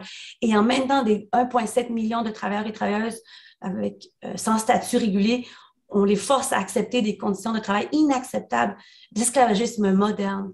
Donc, euh, ça, c'est un mouvement et je fais un appel à appuyer ces causes-là et on voit euh, cette union entre syndiqués, travailleurs, euh, agriculteurs, euh, des mouvements de, de, des employés qui, viennent de l'Inde, qui travaillent dans Tim Hortons, euh, ils se, se, retrouvent ensuite sans papier, ou les femmes des Philippines qui viennent pour prendre soin de nos enfants, nos aînés, nettoyer, ou tous ces Haïtiens qui ont fait, qui ont levé la main Hein, qu'on applaudit comme nos anges gardiens, mais c'est le temps de les reconnaître. Donc, ça, c'est euh, les trois, si tu vas, grands axes de lutte qui me donnent l'espoir pour notre mouvement syndicale et la solidarité ouvrière.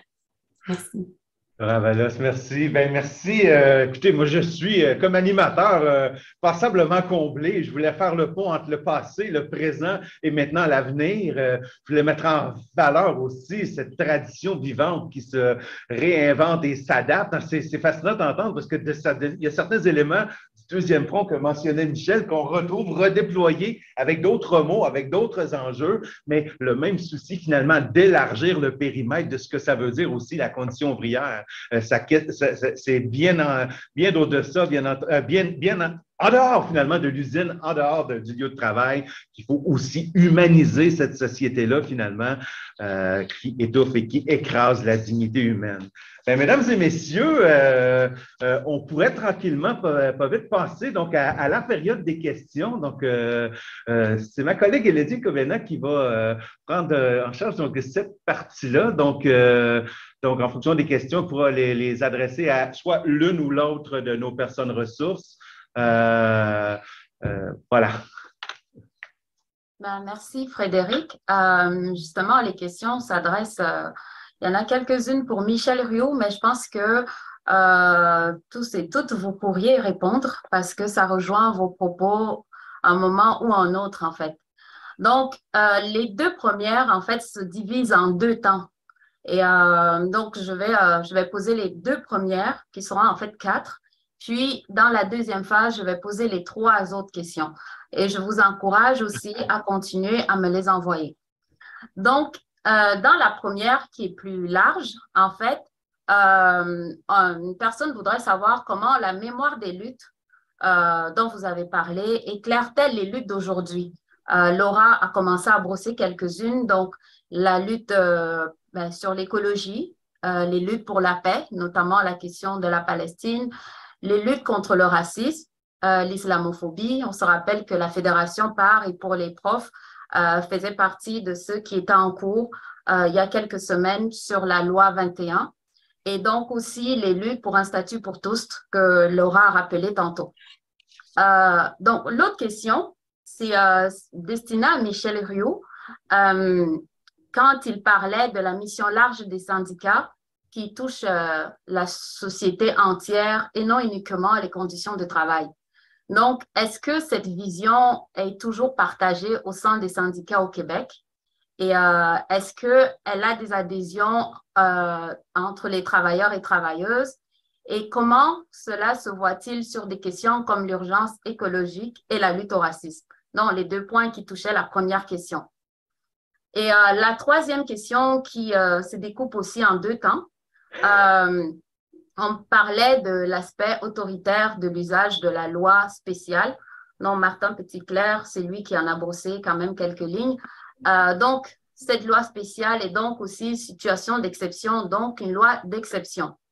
Alors, est-ce qu'il y a des mécanismes qui pourraient démocratiser cet usage ou bien le fait même que l'État, en dernière instance, puisse décider qu'il y a crise et donc qu'il y a besoin d'une loi spéciale? Euh, est-ce que cela est en soi une manière de faire qui ne peut pas être autoritaire? Donc, euh, voilà les quatre questions. Et c'est moi qui avais un vaste programme, dit-on. Mais je vous encourage toujours à me les envoyer, par exemple, parce que je pense que ça va enrichir la discussion. Ben, j'aurais peut-être une première, euh, première réaction sur, sur, sur un aspect de cet ensemble, de cet ensemble d'observations. Le mouvement syndical n'est pas déconnecté de ce qui se passe dans le restant de la société. Euh, les années de mobilisation, de grande ardeur, de grande ferveur sont pour plusieurs derrière nous et ça s'explique, que Martin en a donné un certain nombre de raisons. L'exercice du militantisme syndical aujourd'hui se fait à l'intérieur de camisoles de force juridiques desquelles il est très difficile de se soustraire, auxquelles il est très difficile de se soustraire. S'accompagne aussi, puis je suis sûr que c'est ceux d'entre vous qui réfléchissez à ces questions, vous êtes à même de constater que le collectif a tendance à perdre du terrain par rapport à l'individualisme. Euh, il, y a, quelque chose qui s'est perdu euh, durant les 50 dernières années, je ne saurais dire exactement à quel moment, mais nous avons, pour la plupart d'entre nous ici, vécu des moments exaltants, des moments de ferveur, des moments où on sentait que la collectivité tout entière était derrière des objectifs sociaux généreux. Aujourd'hui, on a l'impression qu'il y a une régression sur ses intérêts personnels, les intérêts, individuels, qui passent en premier lieu par rapport à ce qu'on appelle les intérêts collectifs. De là, par exemple, sur le plan juridique, euh, l'insistance qui est mise sur les droits individuels au détriment de ce qu'on défendait à l'époque et qui s'appelait les droits collectifs. Euh, les syndicats aujourd'hui euh, euh, doivent travailler dans des conditions. Les conditions dans lesquelles on était il y a 50 ans n'étaient pas faciles, mais il y avait ce que je viens de souligner, il y avait une ferveur collective. Aujourd'hui, travailler dans le monde du syndicalisme, les obstacles sont beaucoup plus divers, différents. Euh, il, y a, les aspects, il y a les lois, il y a le conditionnement que le, système capitaliste euh, impose à, l'ensemble de, la société et dont il est très difficile de ne pas en être, en être atteint ni en être victime. Mais au-delà de ça, je vous invite à réfléchir au fait suivant. Le mouvement syndical actuel, malgré ses faiblesses qu'on peut constater, demeure un des seuls remparts à la défense large de la démocratie. Et les gains qui ont pu être faits depuis 50, 60 ans, il faut, il faut, être, il faut être conscient que, par exemple, si les enfants travaillent plus dans les mines à 10 ans, si on travaille plus 60 heures par semaine, si les conditions de travail se sont nettement améliorées, si l'exploitation a reculé, si les femmes ont atteint un niveau d'égalité qu'elles n'avaient pas il y a 50 ans, si les salaires se sont améliorés, est-ce qu'il y a quelqu'un qui peut croire que ça, c'est le résultat des luttes qu'ont pu faire les banquiers, les capitalistes, les entreprises financières, les chambres de commerce, les associations patronales? Non, c'est le mouvement syndical organisé qui, quand il travaille bien, va chercher des appuis dans la société civile, dans des associations qui se portent à la défense des droits humains, qui se portent à la défense des, plus, des moins bien nantis, des plus mal pris de la société. Alors, les, les organisations syndicales ont aujourd'hui encore un rôle extrêmement important à jouer.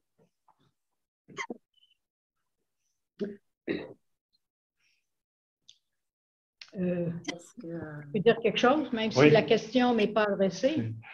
Euh, je veux dire, j'appuie absolument ce que, ce que Michel vient de dire. Si on regarde la société d'hier et la société d'aujourd'hui, euh, les conditions de travail, il y a eu des gains sociaux, il y a eu des gains euh, important pour euh, les syndiqués euh, et entre autres les syndiqués du secteur public, mais plus large. J'ajouterais quand même qu'on est rendu peut-être à une époque où il y a des passerelles entre les différents mouvements sociaux. Et je pense que les gains, le mouvement féministe a, a collaboré, a soutenu euh, énormément de dossiers touchant à la condition des femmes dans le monde du travail, qui n'étaient pas nécessairement à l'intérieur du syndicat, même s'il y avait des comités de conditions féminines. Mais l'important, c'est l'articulation entre le réseau féministe, qu'il soit issu du monde syndical ou issu de, de la société civile. C'est vrai pour euh, l'écologie, c'est vrai pour euh, l'impression qu'on est dans un moment euh, historique où on ne peut plus travailler en silo. Et le défi, c'est de, d'établir des passerelles organisationnelles qui font que les différents réseaux sociaux se parlent, mais plus que se parlent, s'organisent et se concertent ensemble. Et je pense que le mouvement syndical, moi, je suis, dans un réseau, euh, on a évoqué euh, le collectif Échec à la guerre, où à la fois il y, a, des groupes de femmes, il y a des groupes féministes, il y a des groupes religieux, il y a des groupes syndicaux sur les enjeux de la militarisation, sur les enjeux de la critique de la politique canadienne par rapport à la guerre, par rapport à la course aux armements, etc. Mais c'est une coalition et je me demande si, mais c'est pas parfait, hein, et, et il y a des réseaux, des fois, bon, participe moins, participe plus, ça dépend des moments, ça dépend de beaucoup de choses. Je pense qu'on a le défi, oui, de s'appuyer sur les avancées du mouvement syndical, mais aussi les avancées du mouvement des femmes, les avancées du mouvement écologique, etc., euh, etc. Je trouve qu'à ce niveau-là, je ne veux pas faire de la pub pour le site de la mémoire du christianisme social, mais je trouve intéressant de voir qu'à la fois, on parle des luttes en solidarité internationale, les luttes syndicales, les luttes écologiques, les luttes féministes. Et je trouve que c'est le défi maintenant, c'est de sortir de nos tiroirs et puis de se reconnaître sur des enjeux communs. Mm-hmm. Et j'ajouterais d'autant que le, le, capitalisme est de plus en plus globalisé et on le voit donc les, transformations du monde du travail. Là, je vais faire de la pub, mais cette fois pour le précédent numéro de mes collègues de la revue Relations avec les GAFAM, euh, euh, Google, euh, Amazon et compagnie, on voit très très bien comment finalement, tu mentionnais Michel dans, la balado, avant le boss, on savait où il restait et il, passait tous les jours dans son usine. Aujourd'hui, on est rendu dans un capitalisme finalement de plus en plus euh, anonymisé, donc ça complique les choses. Euh, Martin et Laurent, est-ce que vous voudriez ajouter quelque chose à cette conversation? Oui? Oui, OK. Euh, oui, je ne sais pas. Laurent, oui. Oui, oui non, c'est vraiment important. je veux souligner ce que Suzanne a dit, justement, de il faut sortir de l'isoloir, il faut sortir euh, de, travailler en, silo, il faut vraiment créer ces grandes alliances qu'on a déjà, on, a ces, expériences et j'ai vraiment hâte, j'ai pas eu le temps malheureusement Frédéric d'écouter les, les, balados, mais c'est clair que je vais toutes les écouter euh, pour justement apprendre de cette richesse, de cette expérience. Nous, en tout cas, comme je vous disais, le lundi 7 novembre, je vais jamais oublier cette journée-là parce que euh, on est, je devais participer à un atelier pour comment euh, faire face à la montée de la droite dans nos sociétés et dans nos mouvements syndicaux. Puis, personne n'est allé parce qu'on était tous à la ligne de piquetage dehors, mais c'était parfait. Mais le, mot d'ordre qu'on a eu, c'est les syndicats, on a un rôle, et on a joué ce rôle historique de créer ces alliances il faut sortir. La pandémie a vraiment été difficile pour le mouvement ouvrier. Puis c'est le temps de, se retrouver, d'organiser que ce soit des, séances de, yoga ou d'aller à la shop ou aller où que les travailleurs y sont, puis en particulier faire ces alliances avec les secteurs les plus vulnérables, les secteurs qu'on dit euh, de première ligne. Puis ironiquement, malheureusement ou heureusement, la pandémie, pendant nous, on était tous confinés, pendant tout ce qu'on s'est caché pendant deux ans dans nos salons, dans nos maisons, dans nos cuisines, bien, ça a fait sortir de la noirceur. C'est 1,7 million de travailleurs et travailleuses euh, sans statut ou à statut précaire au Canada. Donc, on a eu cette conscientisation, puis c'est tellement important d'appuyer ces mouvements. On, on voit qu'il euh, y a cette conscience de travailleurs et travailleuses, de cette solidarité euh, aussi entre les causes pour l'environnement. Donc, c'est important aussi d'aller vers euh, les, grands mouvements sociaux, puis de créer ces grandes alliances pour faire face à ce capitalisme, à ce néolibéralisme qui nous divise au lieu de nous unir, qui ferme les frontières au lieu d'accueillir et qui met en péril nos, institutions publiques comme la santé l'éducation.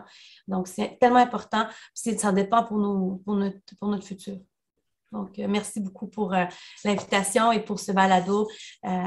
J'ai vraiment hâte d'écouter à tous ces capsules que vous avez faites. Euh, je pense que le micro de Martin Petitclerc est déverrouillé, donc euh, je pense qu'on va pouvoir l'entendre. je voyais trépigner. Non, non. vous m'entendez? Oui. Euh, ben, en fait, je, suis tout à fait d'accord avec ce qui a été dit, avec ce que Michel, Suzanne et Laurent ont dit. En fait, quand on regarde dans, une perspective historique, on voit bien que le mouvement syndical, le mouvement ouvrier, hein, qui était plus qu'un, c'était plus qu'un mouvement syndical, c'était plus, plus qu'un mouvement des syndicats, c'était vraiment un mouvement ouvrier qui représentait l'ensemble de la classe ouvrière.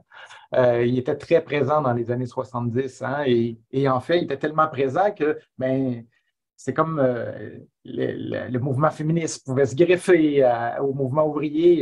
il y avait comme une combinaison des mouvements sociaux qui faisait que ça, devenait un mouvement très, très puissant et qui pouvait avoir une dimension très politique, politique dans le sens profond, hein, une sorte de remise en cause de l'organisation sociale, politique et tout. Et, effectivement, à partir des années 80, c'est très difficile, hein, comme Michel l'a dit, de, de, trouver un moment, qu'est-ce qui s'est passé exactement. Mais effectivement, il y a eu comme un, une sorte de, perte de cette dimension politique de l'action collective, mais je dirais au sens, euh, au sens fort comme ça l'était dans les années 70. Et là, ben, le mouvement syndical s'est replié un petit peu. C'est devenu moins un mouvement ouvrier pour l'ensemble de la classe ouvrière ou l'ensemble des classes populaires. C'est devenu de plus en plus un mouvement des syndicats.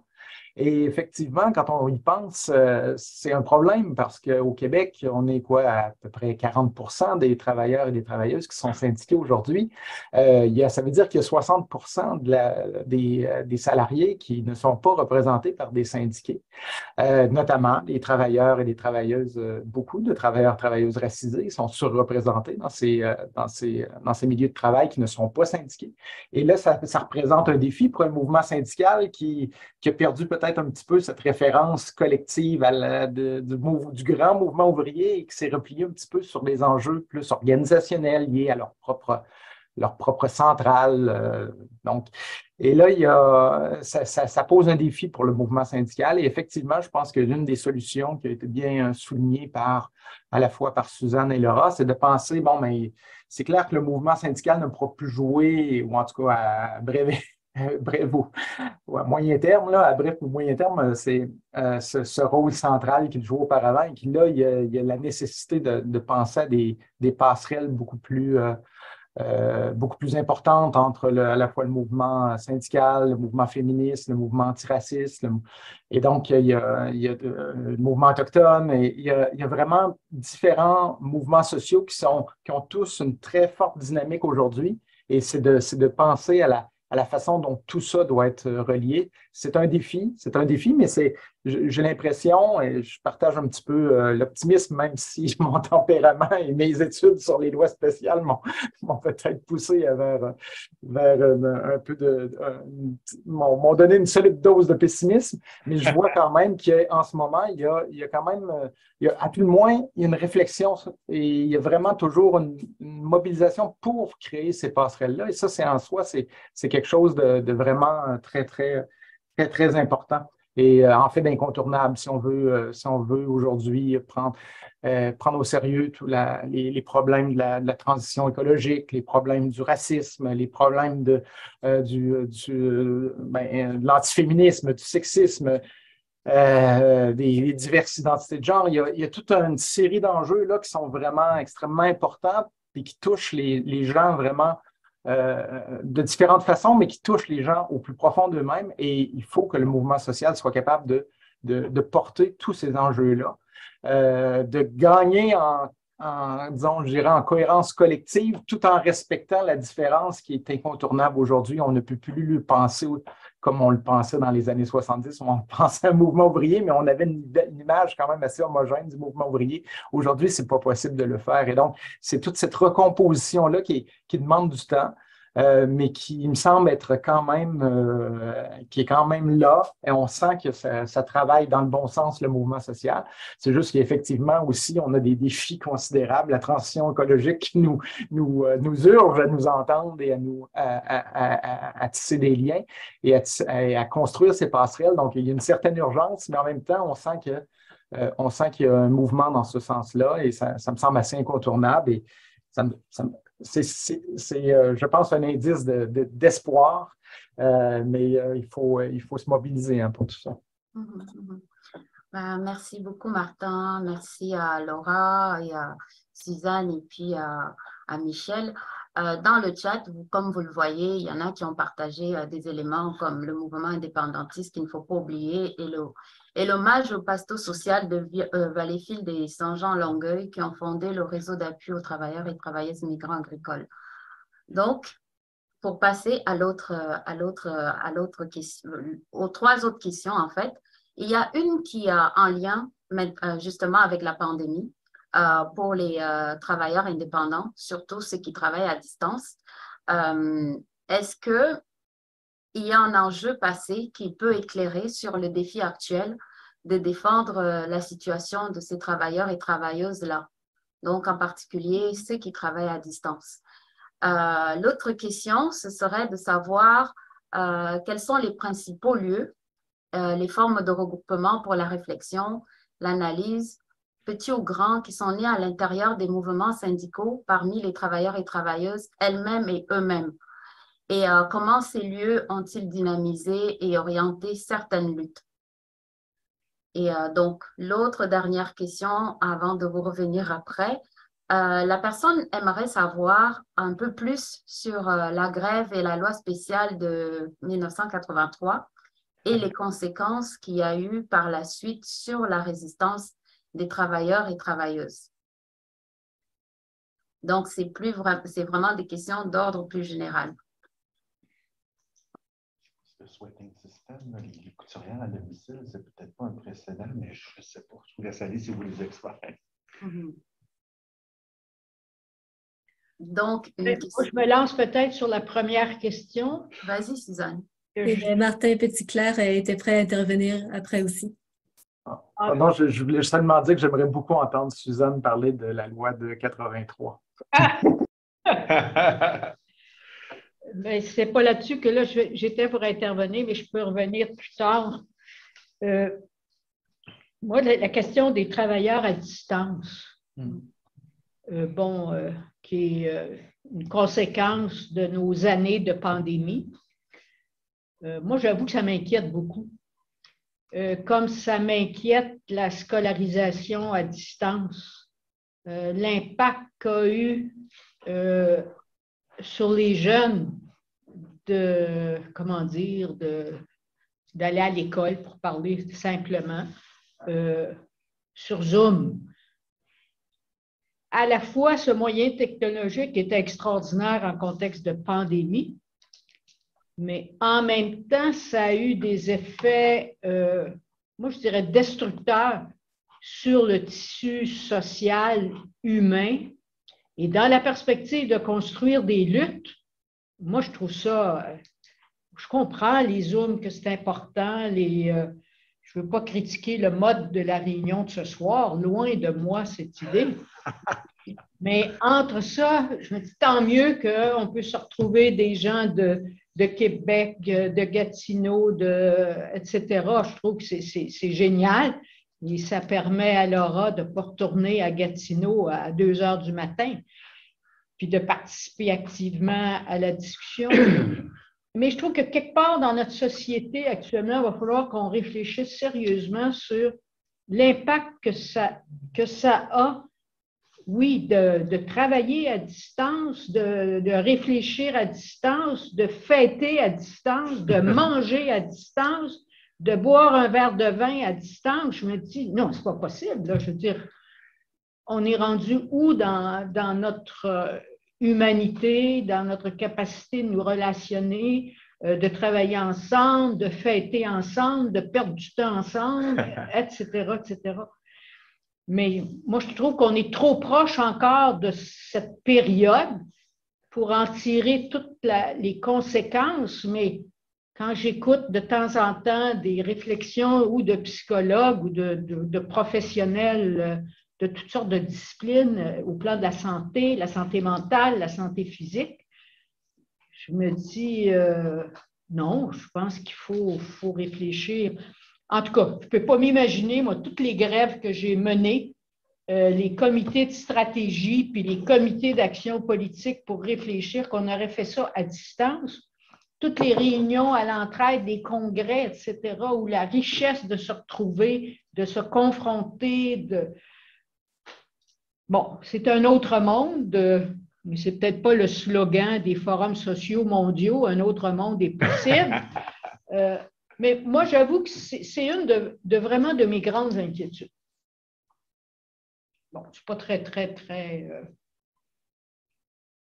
je peux-tu répondre rapidement à Suzanne? Oui, Laura, vas-y. Rapidement, parce que je suis dans ce dilemme. Moi, la, révolution ou le saut en mille qu'on vient de faire avec la pandémie puis la technologie a fait que moi, en tant que mère monoparentale, ça m'a aidé. Je ne serais pas ici ce soir s'il n'y aurait pas eu cette formule parce que je suis mère avec deux enfants. Mes deux enfants, en ce moment, sont en train de prendre leur bain. J'ai fait le souper, puis boum, je suis embarquée sur le Zoom. Moi, j'ai au contraire, j'ai pu participer autant autant que jamais euh, dans des conférences, des congrès. Euh, travailler de la maison a diminué mon stress, j'ai sauvé de l'argent. moi, ça me, ça, ça me bénéficiait, mon niveau de stress, gestion, j'ai sauvé de l'argent, des mille dollars, des milliers de dollars en garderie, essence, stationnement, frais de garderie, etc. Fait que je suis, je suis, je suis pas en train de dire qu'il faut rester à la maison.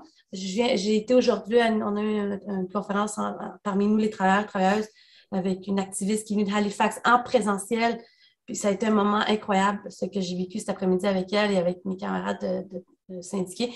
Mais il faut trouver un juste balance parce que je suis aussi partie de la génération.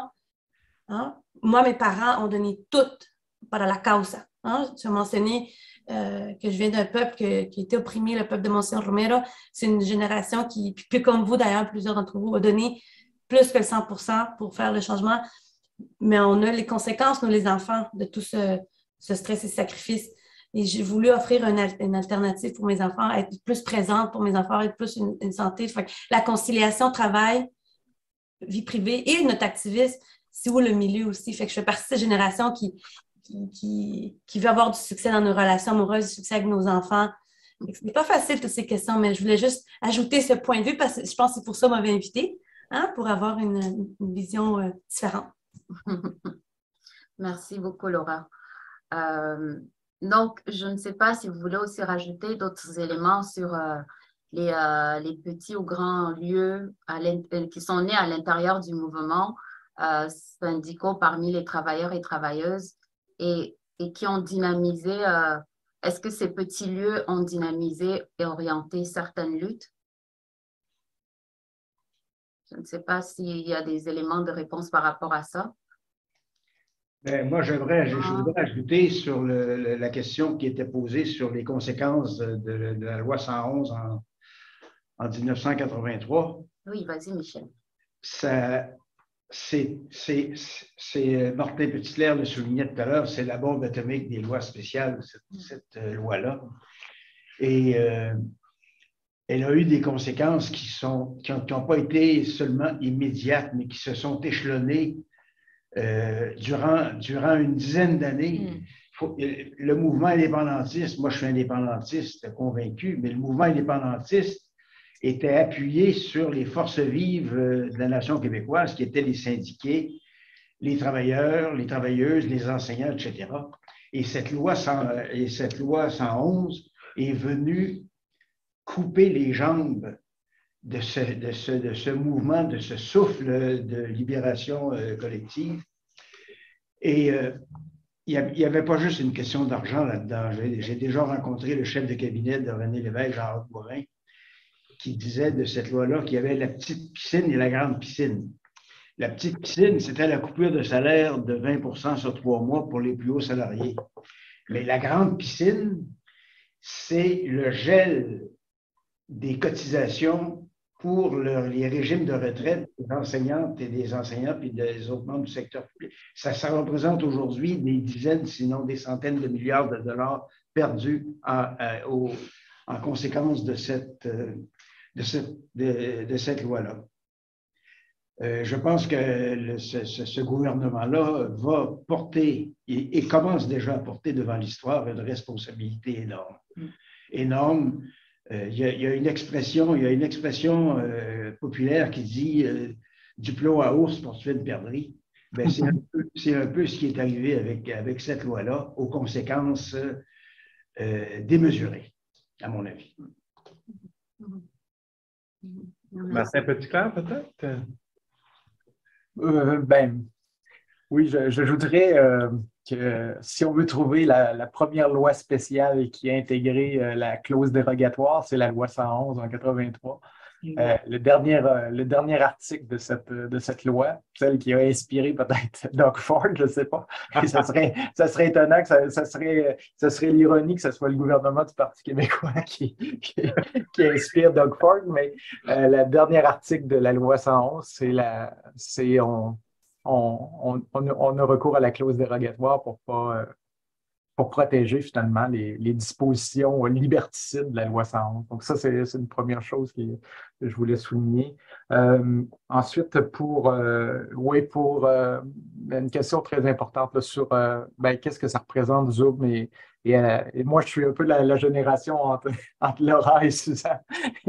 et, et j'essaie de. Et je, suis aussi assez ambivalent. Il y a quelque chose d'extraordinaire que l'on puisse aujourd'hui discuter et tout ça. Et effectivement, il y a vraiment des grands avantages pour euh, notamment l'aura, mère monoparentale et tout ça qui peut garder un, grand militantisme social tout en ayant aussi des responsabilités parentales et tout ça. Et c'est vraiment un défi aujourd'hui de, de, combiner tout ça. Et en même temps, il y a aussi euh, des, des je, je, vois moins mes, mes, parents aussi et, et, là, on se voit plus par Zoom et je sais que ça, touche beaucoup mes, mes parents qui, euh, qui aimeraient, disons, avoir des, plus de contacts et tout. Et donc, il y, a quelque chose là qui, euh, ça pose des défis différents selon les générations et ça, c'est ce qui pose la, la, la, grande difficulté en ce qui concerne ce débat-là. Mais moi, je dirais que ce qui m'inquiète le plus, c'est pas tant Zoom, euh, en tout cas, si je regarde euh, mes, mes étudiants, mes étudiantes, ça, fait, euh, ça fait une quinzaine d'années que je suis prof à l'université, et je dirais que ce qui, est le, ce qui a été le, la plus grosse source d'angoisse, d'anxiété, et, c'est c'est fascinant. Ben, c'est fascinant. C'est vraiment inquiétant de voir à quel point les jeunes aujourd'hui sont beaucoup plus angoissés et anxieux. Peut-être qu'ils le formulent, peut-être qu'ils le, qu'il le verbalise un petit peu plus qu'à l'époque, mais ce n'est pas juste ça. Il y a vraiment une plus grande anxiété. Et moi, je pense que c'est le plus grand, le plus grand, la plus grande source de ça, c'est pas tant les, le, Zoom que les, réseaux sociaux. Et on voit à quel point les réseaux sociaux aujourd'hui, c'est devenu extrêmement, extrêmement violent, extrêmement, euh, euh, oui, juste, juste violent. Euh, c'est très difficile d'avoir des, discussions, beaucoup plus difficile d'avoir des discussions maintenant sur les réseaux sociaux que sur Zoom. Et, euh, je pense que ça, c'est, en tout cas, en ce qui concerne les, nouvelles technologies, moi, je pense que j'ai, beaucoup plus d'inquiétude à l'égard des, réseaux sociaux que des, euh, d'outils comme Zoom et tout ça qui, ont leurs forces, mais qui ont aussi leurs faiblesses et, tout. je pense que là, il y a un défi qui, un défi collectif pour l'ensemble des, des sociétés. Là. Euh, la, montée de l'extrême droite qu'évoquait Laura tout à l'heure, euh, elle s'alimente beaucoup, beaucoup, beaucoup sur les réseaux sociaux. Et ça, c'est euh, vraiment, vraiment inquiétant. Et ça, ça, a un impact, je pense, extrêmement puissant sur la dislocation des, liens sociaux. C'est très facile de, très, facile de mépriser quelqu'un qu'on ne voit même pas sur Zoom, mais simplement par les réseaux sociaux. Et en tout cas, moi, c'est ma source d'inquiétude, je dirais. Ah, oui, ben, je partage ce que Martin vient de dire. Euh, je, m'en étais tenu à la question mm-hmm. par rapport à, la question de la distance, la, communication euh, à distance, les travailleurs à distance. Mais moi aussi, je suis absolument inquiète de l'orientation des, mouvements sociaux. Mais je voudrais aussi réagir à, Martin quand il m'a dit J'aimerais ça entendre Suzanne parler de la loi 100. S'il vous plaît. Ben, j'aimerais ça prendre rendez-vous avec vous pour en parler plus longuement. Oui. Mais j'avoue que comme euh, syndiqué euh, à cette île, dans un contexte de front commun, qui a vécu la loi 101, c'est à la fois un cauchemar et à la fois une histoire de solidarité. Euh, Penser à la loi 111, c'est penser à des assemblées générales presque quotidiennes, c'est des rencontres de comités de stratégie, c'est analyser la loi, euh, faire venir des conseillers qui viennent de la CSN, qui viennent de la FTQ, qui viennent de la CEQ. Les étiquettes, il n'y avait pas de maraudage, je veux dire, on travaillait vraiment euh, ensemble c'est accompagné des camarades à la prison parce qu'il y a eu des gens sanctionnés. Euh, oui, il y a eu des coupures de salaire, 20% pendant. Moi, j'ai connu ça. On a eu des règlements de bout de chandelle, euh, je ne sais plus combien d'années après. ma mémoire a des trous par rapport à ça. Il y a comme des choses qu'on dirait qu'on ne tient pas trop. Moi, ce n'est pas tant la coupure de salaire, c'est toute la dynamique sociale, politique communautaire qu'il y a eu autour de cet événement-là. Et qui parlait, c'est Michel, je pense, c'est la bombe des lois sociales. C'est comme, il y a eu, comment dire, une, progression, un raffinement euh, dans les lois spéciales, dans les objectifs des lois spéciales et dans les sanctions inscrites dans les lois spéciales. Alors, moi, je garde de cette époque, euh, c'est drôle parce que ça fait longtemps que je n'avais pas repensé à ça. C'est comme si ça me remonte, là. c'était pas si loin que ça finalement, 50 ans plus tard. Euh, ben non, pas 50 ans, le 83, je ne sais plus compter, mais on parle beaucoup des 50e, alors on est là-dedans. 40. Merci. Mais je pense que je résumerai en disant à la fois, c'est un cauchemar de voir le rouleau compresseur du gouvernement à ce moment-là, puis l'annonce de la loi, il faut parler de la préparation aussi de la loi qui était cauchemardesque. on nous donnait ça presque au compte-goutte. Il va se passer ça, on va ajouter un paragraphe. C'était. Mais à la fois un cauchemar, puis à la fois, oui, une histoire de solidarité, d'appuyer les gens, d'expliquer les choses, mais la détermination aussi des syndiqués. On est passé par des vagues de dire on laisse passer, on l'affronte, on, on y va pour la désobéissance civile. On a voté majoritairement pour la désobéissance civile. On a été, je pense, c'est trois jours de défi de la loi spéciale avec je ne sais plus quelle amende par jour. C'était hallucinant. Puis les gens disaient non, on y va. Mais à un moment donné, euh, bon, je pourrais, je pourrais je vais arrêter là, mais comme, à quelle université vous êtes? À l'UQAM. c'est voisin de chez moi, fait qu'on pourra poursuivre. oui, oui. Ça me ferait plaisir parce que je ne sais pas si je peux ajouter une petite chose parce que on a découvert des trucs vraiment des fois ahurissants sur, sur cette loi-là. Et on a eu accès finalement, ben, en fait, c'est quelque chose qui est, qui est public maintenant, mais aux délibérations du Conseil des ministres ah. Et donc, on a su qui, euh, quels étaient les ministres qui étaient en faveur et ceux, qui ne, l'étaient pas. Et, euh, bon, Louise Arel, euh, magnifique, qui, elle, avait bien vu les enjeux, mais ce qui était la chose la plus troublante et la plus triste, c'est qu'on a vu à quel point, finalement, Gérald Godin était tellement en faveur de cette loi. Et il y avait vraiment quelque chose d'extrêmement. il voulait. il était en, vraiment, je ne sais pas en colère contre la CEQ ou je ne sais pas, mais euh, c'est Gérald Godin qui a, insisté pour que les, dispositions les plus punitives de la loi soient, soient conservées euh, contre l'avis de, de Louise Arel. Et donc, euh, pour ceux qui aiment la petite histoire, ça a été quelque chose d'un peu, peu déchirant de voir ça quand j'ai fait mes recherches. Je trouve c'est encore plus troublant d'entendre ça, vraiment. Mais je vais vous raconter une anecdote à la fin des négociations, j'étais, il était 6 heures du matin, j'étais dans la hall d'entrée de l'hôtel Hilton à Québec. Et qui, sort de l'ascenseur? Lucien Bouchard, qui était le négociateur syndical. je suis pas sûr qu'il était d'accord avec, euh, avec la loi spéciale parce que comme je suis saguenéen puis que lui aussi l'est, on avait euh, un terrain d'entente. Il dit euh, je, je, préfère m'en aller parce qu'il dit il va se faire des choses que je ne veux pas voir c'est-à-dire les petits boss joués dans les articles des conventions collectives pour, pour, euh, pour défaire tout ce que les travailleuses et les travailleurs ont gagné depuis 10, 15, 20, 30 ans.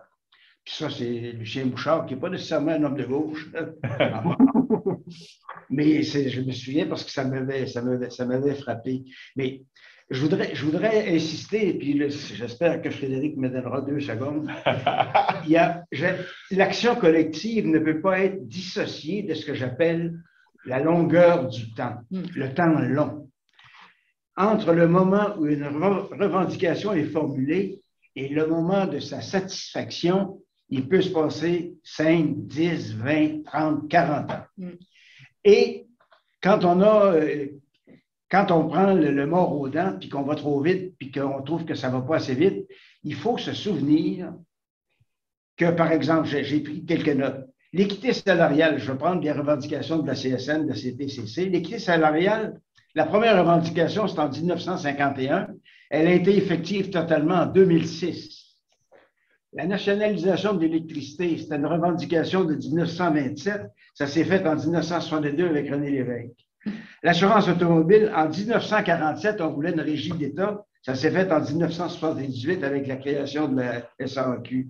Les droits des locataires, la CSN a fait une campagne en 73, puis appuyée par des mobilisations, tout ça. En 79, il y a eu la création de la régie du logement. Le réseau public de garderie, une revendication de 1970 qui est arrivée à terme en entre 1997 et 2000. La langue française, en 1944, on revendiquait que le Code de l'électricité soit traduit en français. Ben, il y a eu la loi 101 en 1977. La Michel, Michel, je serai obligé de te couper et de te ralentir parce que le temps a beaucoup passé. La nationalisation du réseau de Mais euh, Ariane avait quelques mots à dire par rapport à ça aussi. Euh, merci vraiment beaucoup. Il y avait encore d'autres questions qui concernaient spécifiquement le mouvement de christianisme social. On n'aura malheureusement pas le temps d'aller plus loin, mais je passe la parole à Ariane parce que le temps a passé vite. Vas-y, Ariane. Merci beaucoup. On est aussi respectueux de l'attention de tout le monde sur Zoom. Ça, ça, devient un peu exigeant. Euh, merci, Elodie. Euh, je, je t'admire et je plains toutes les personnes qui ont eu à arrêter Michel Rioux.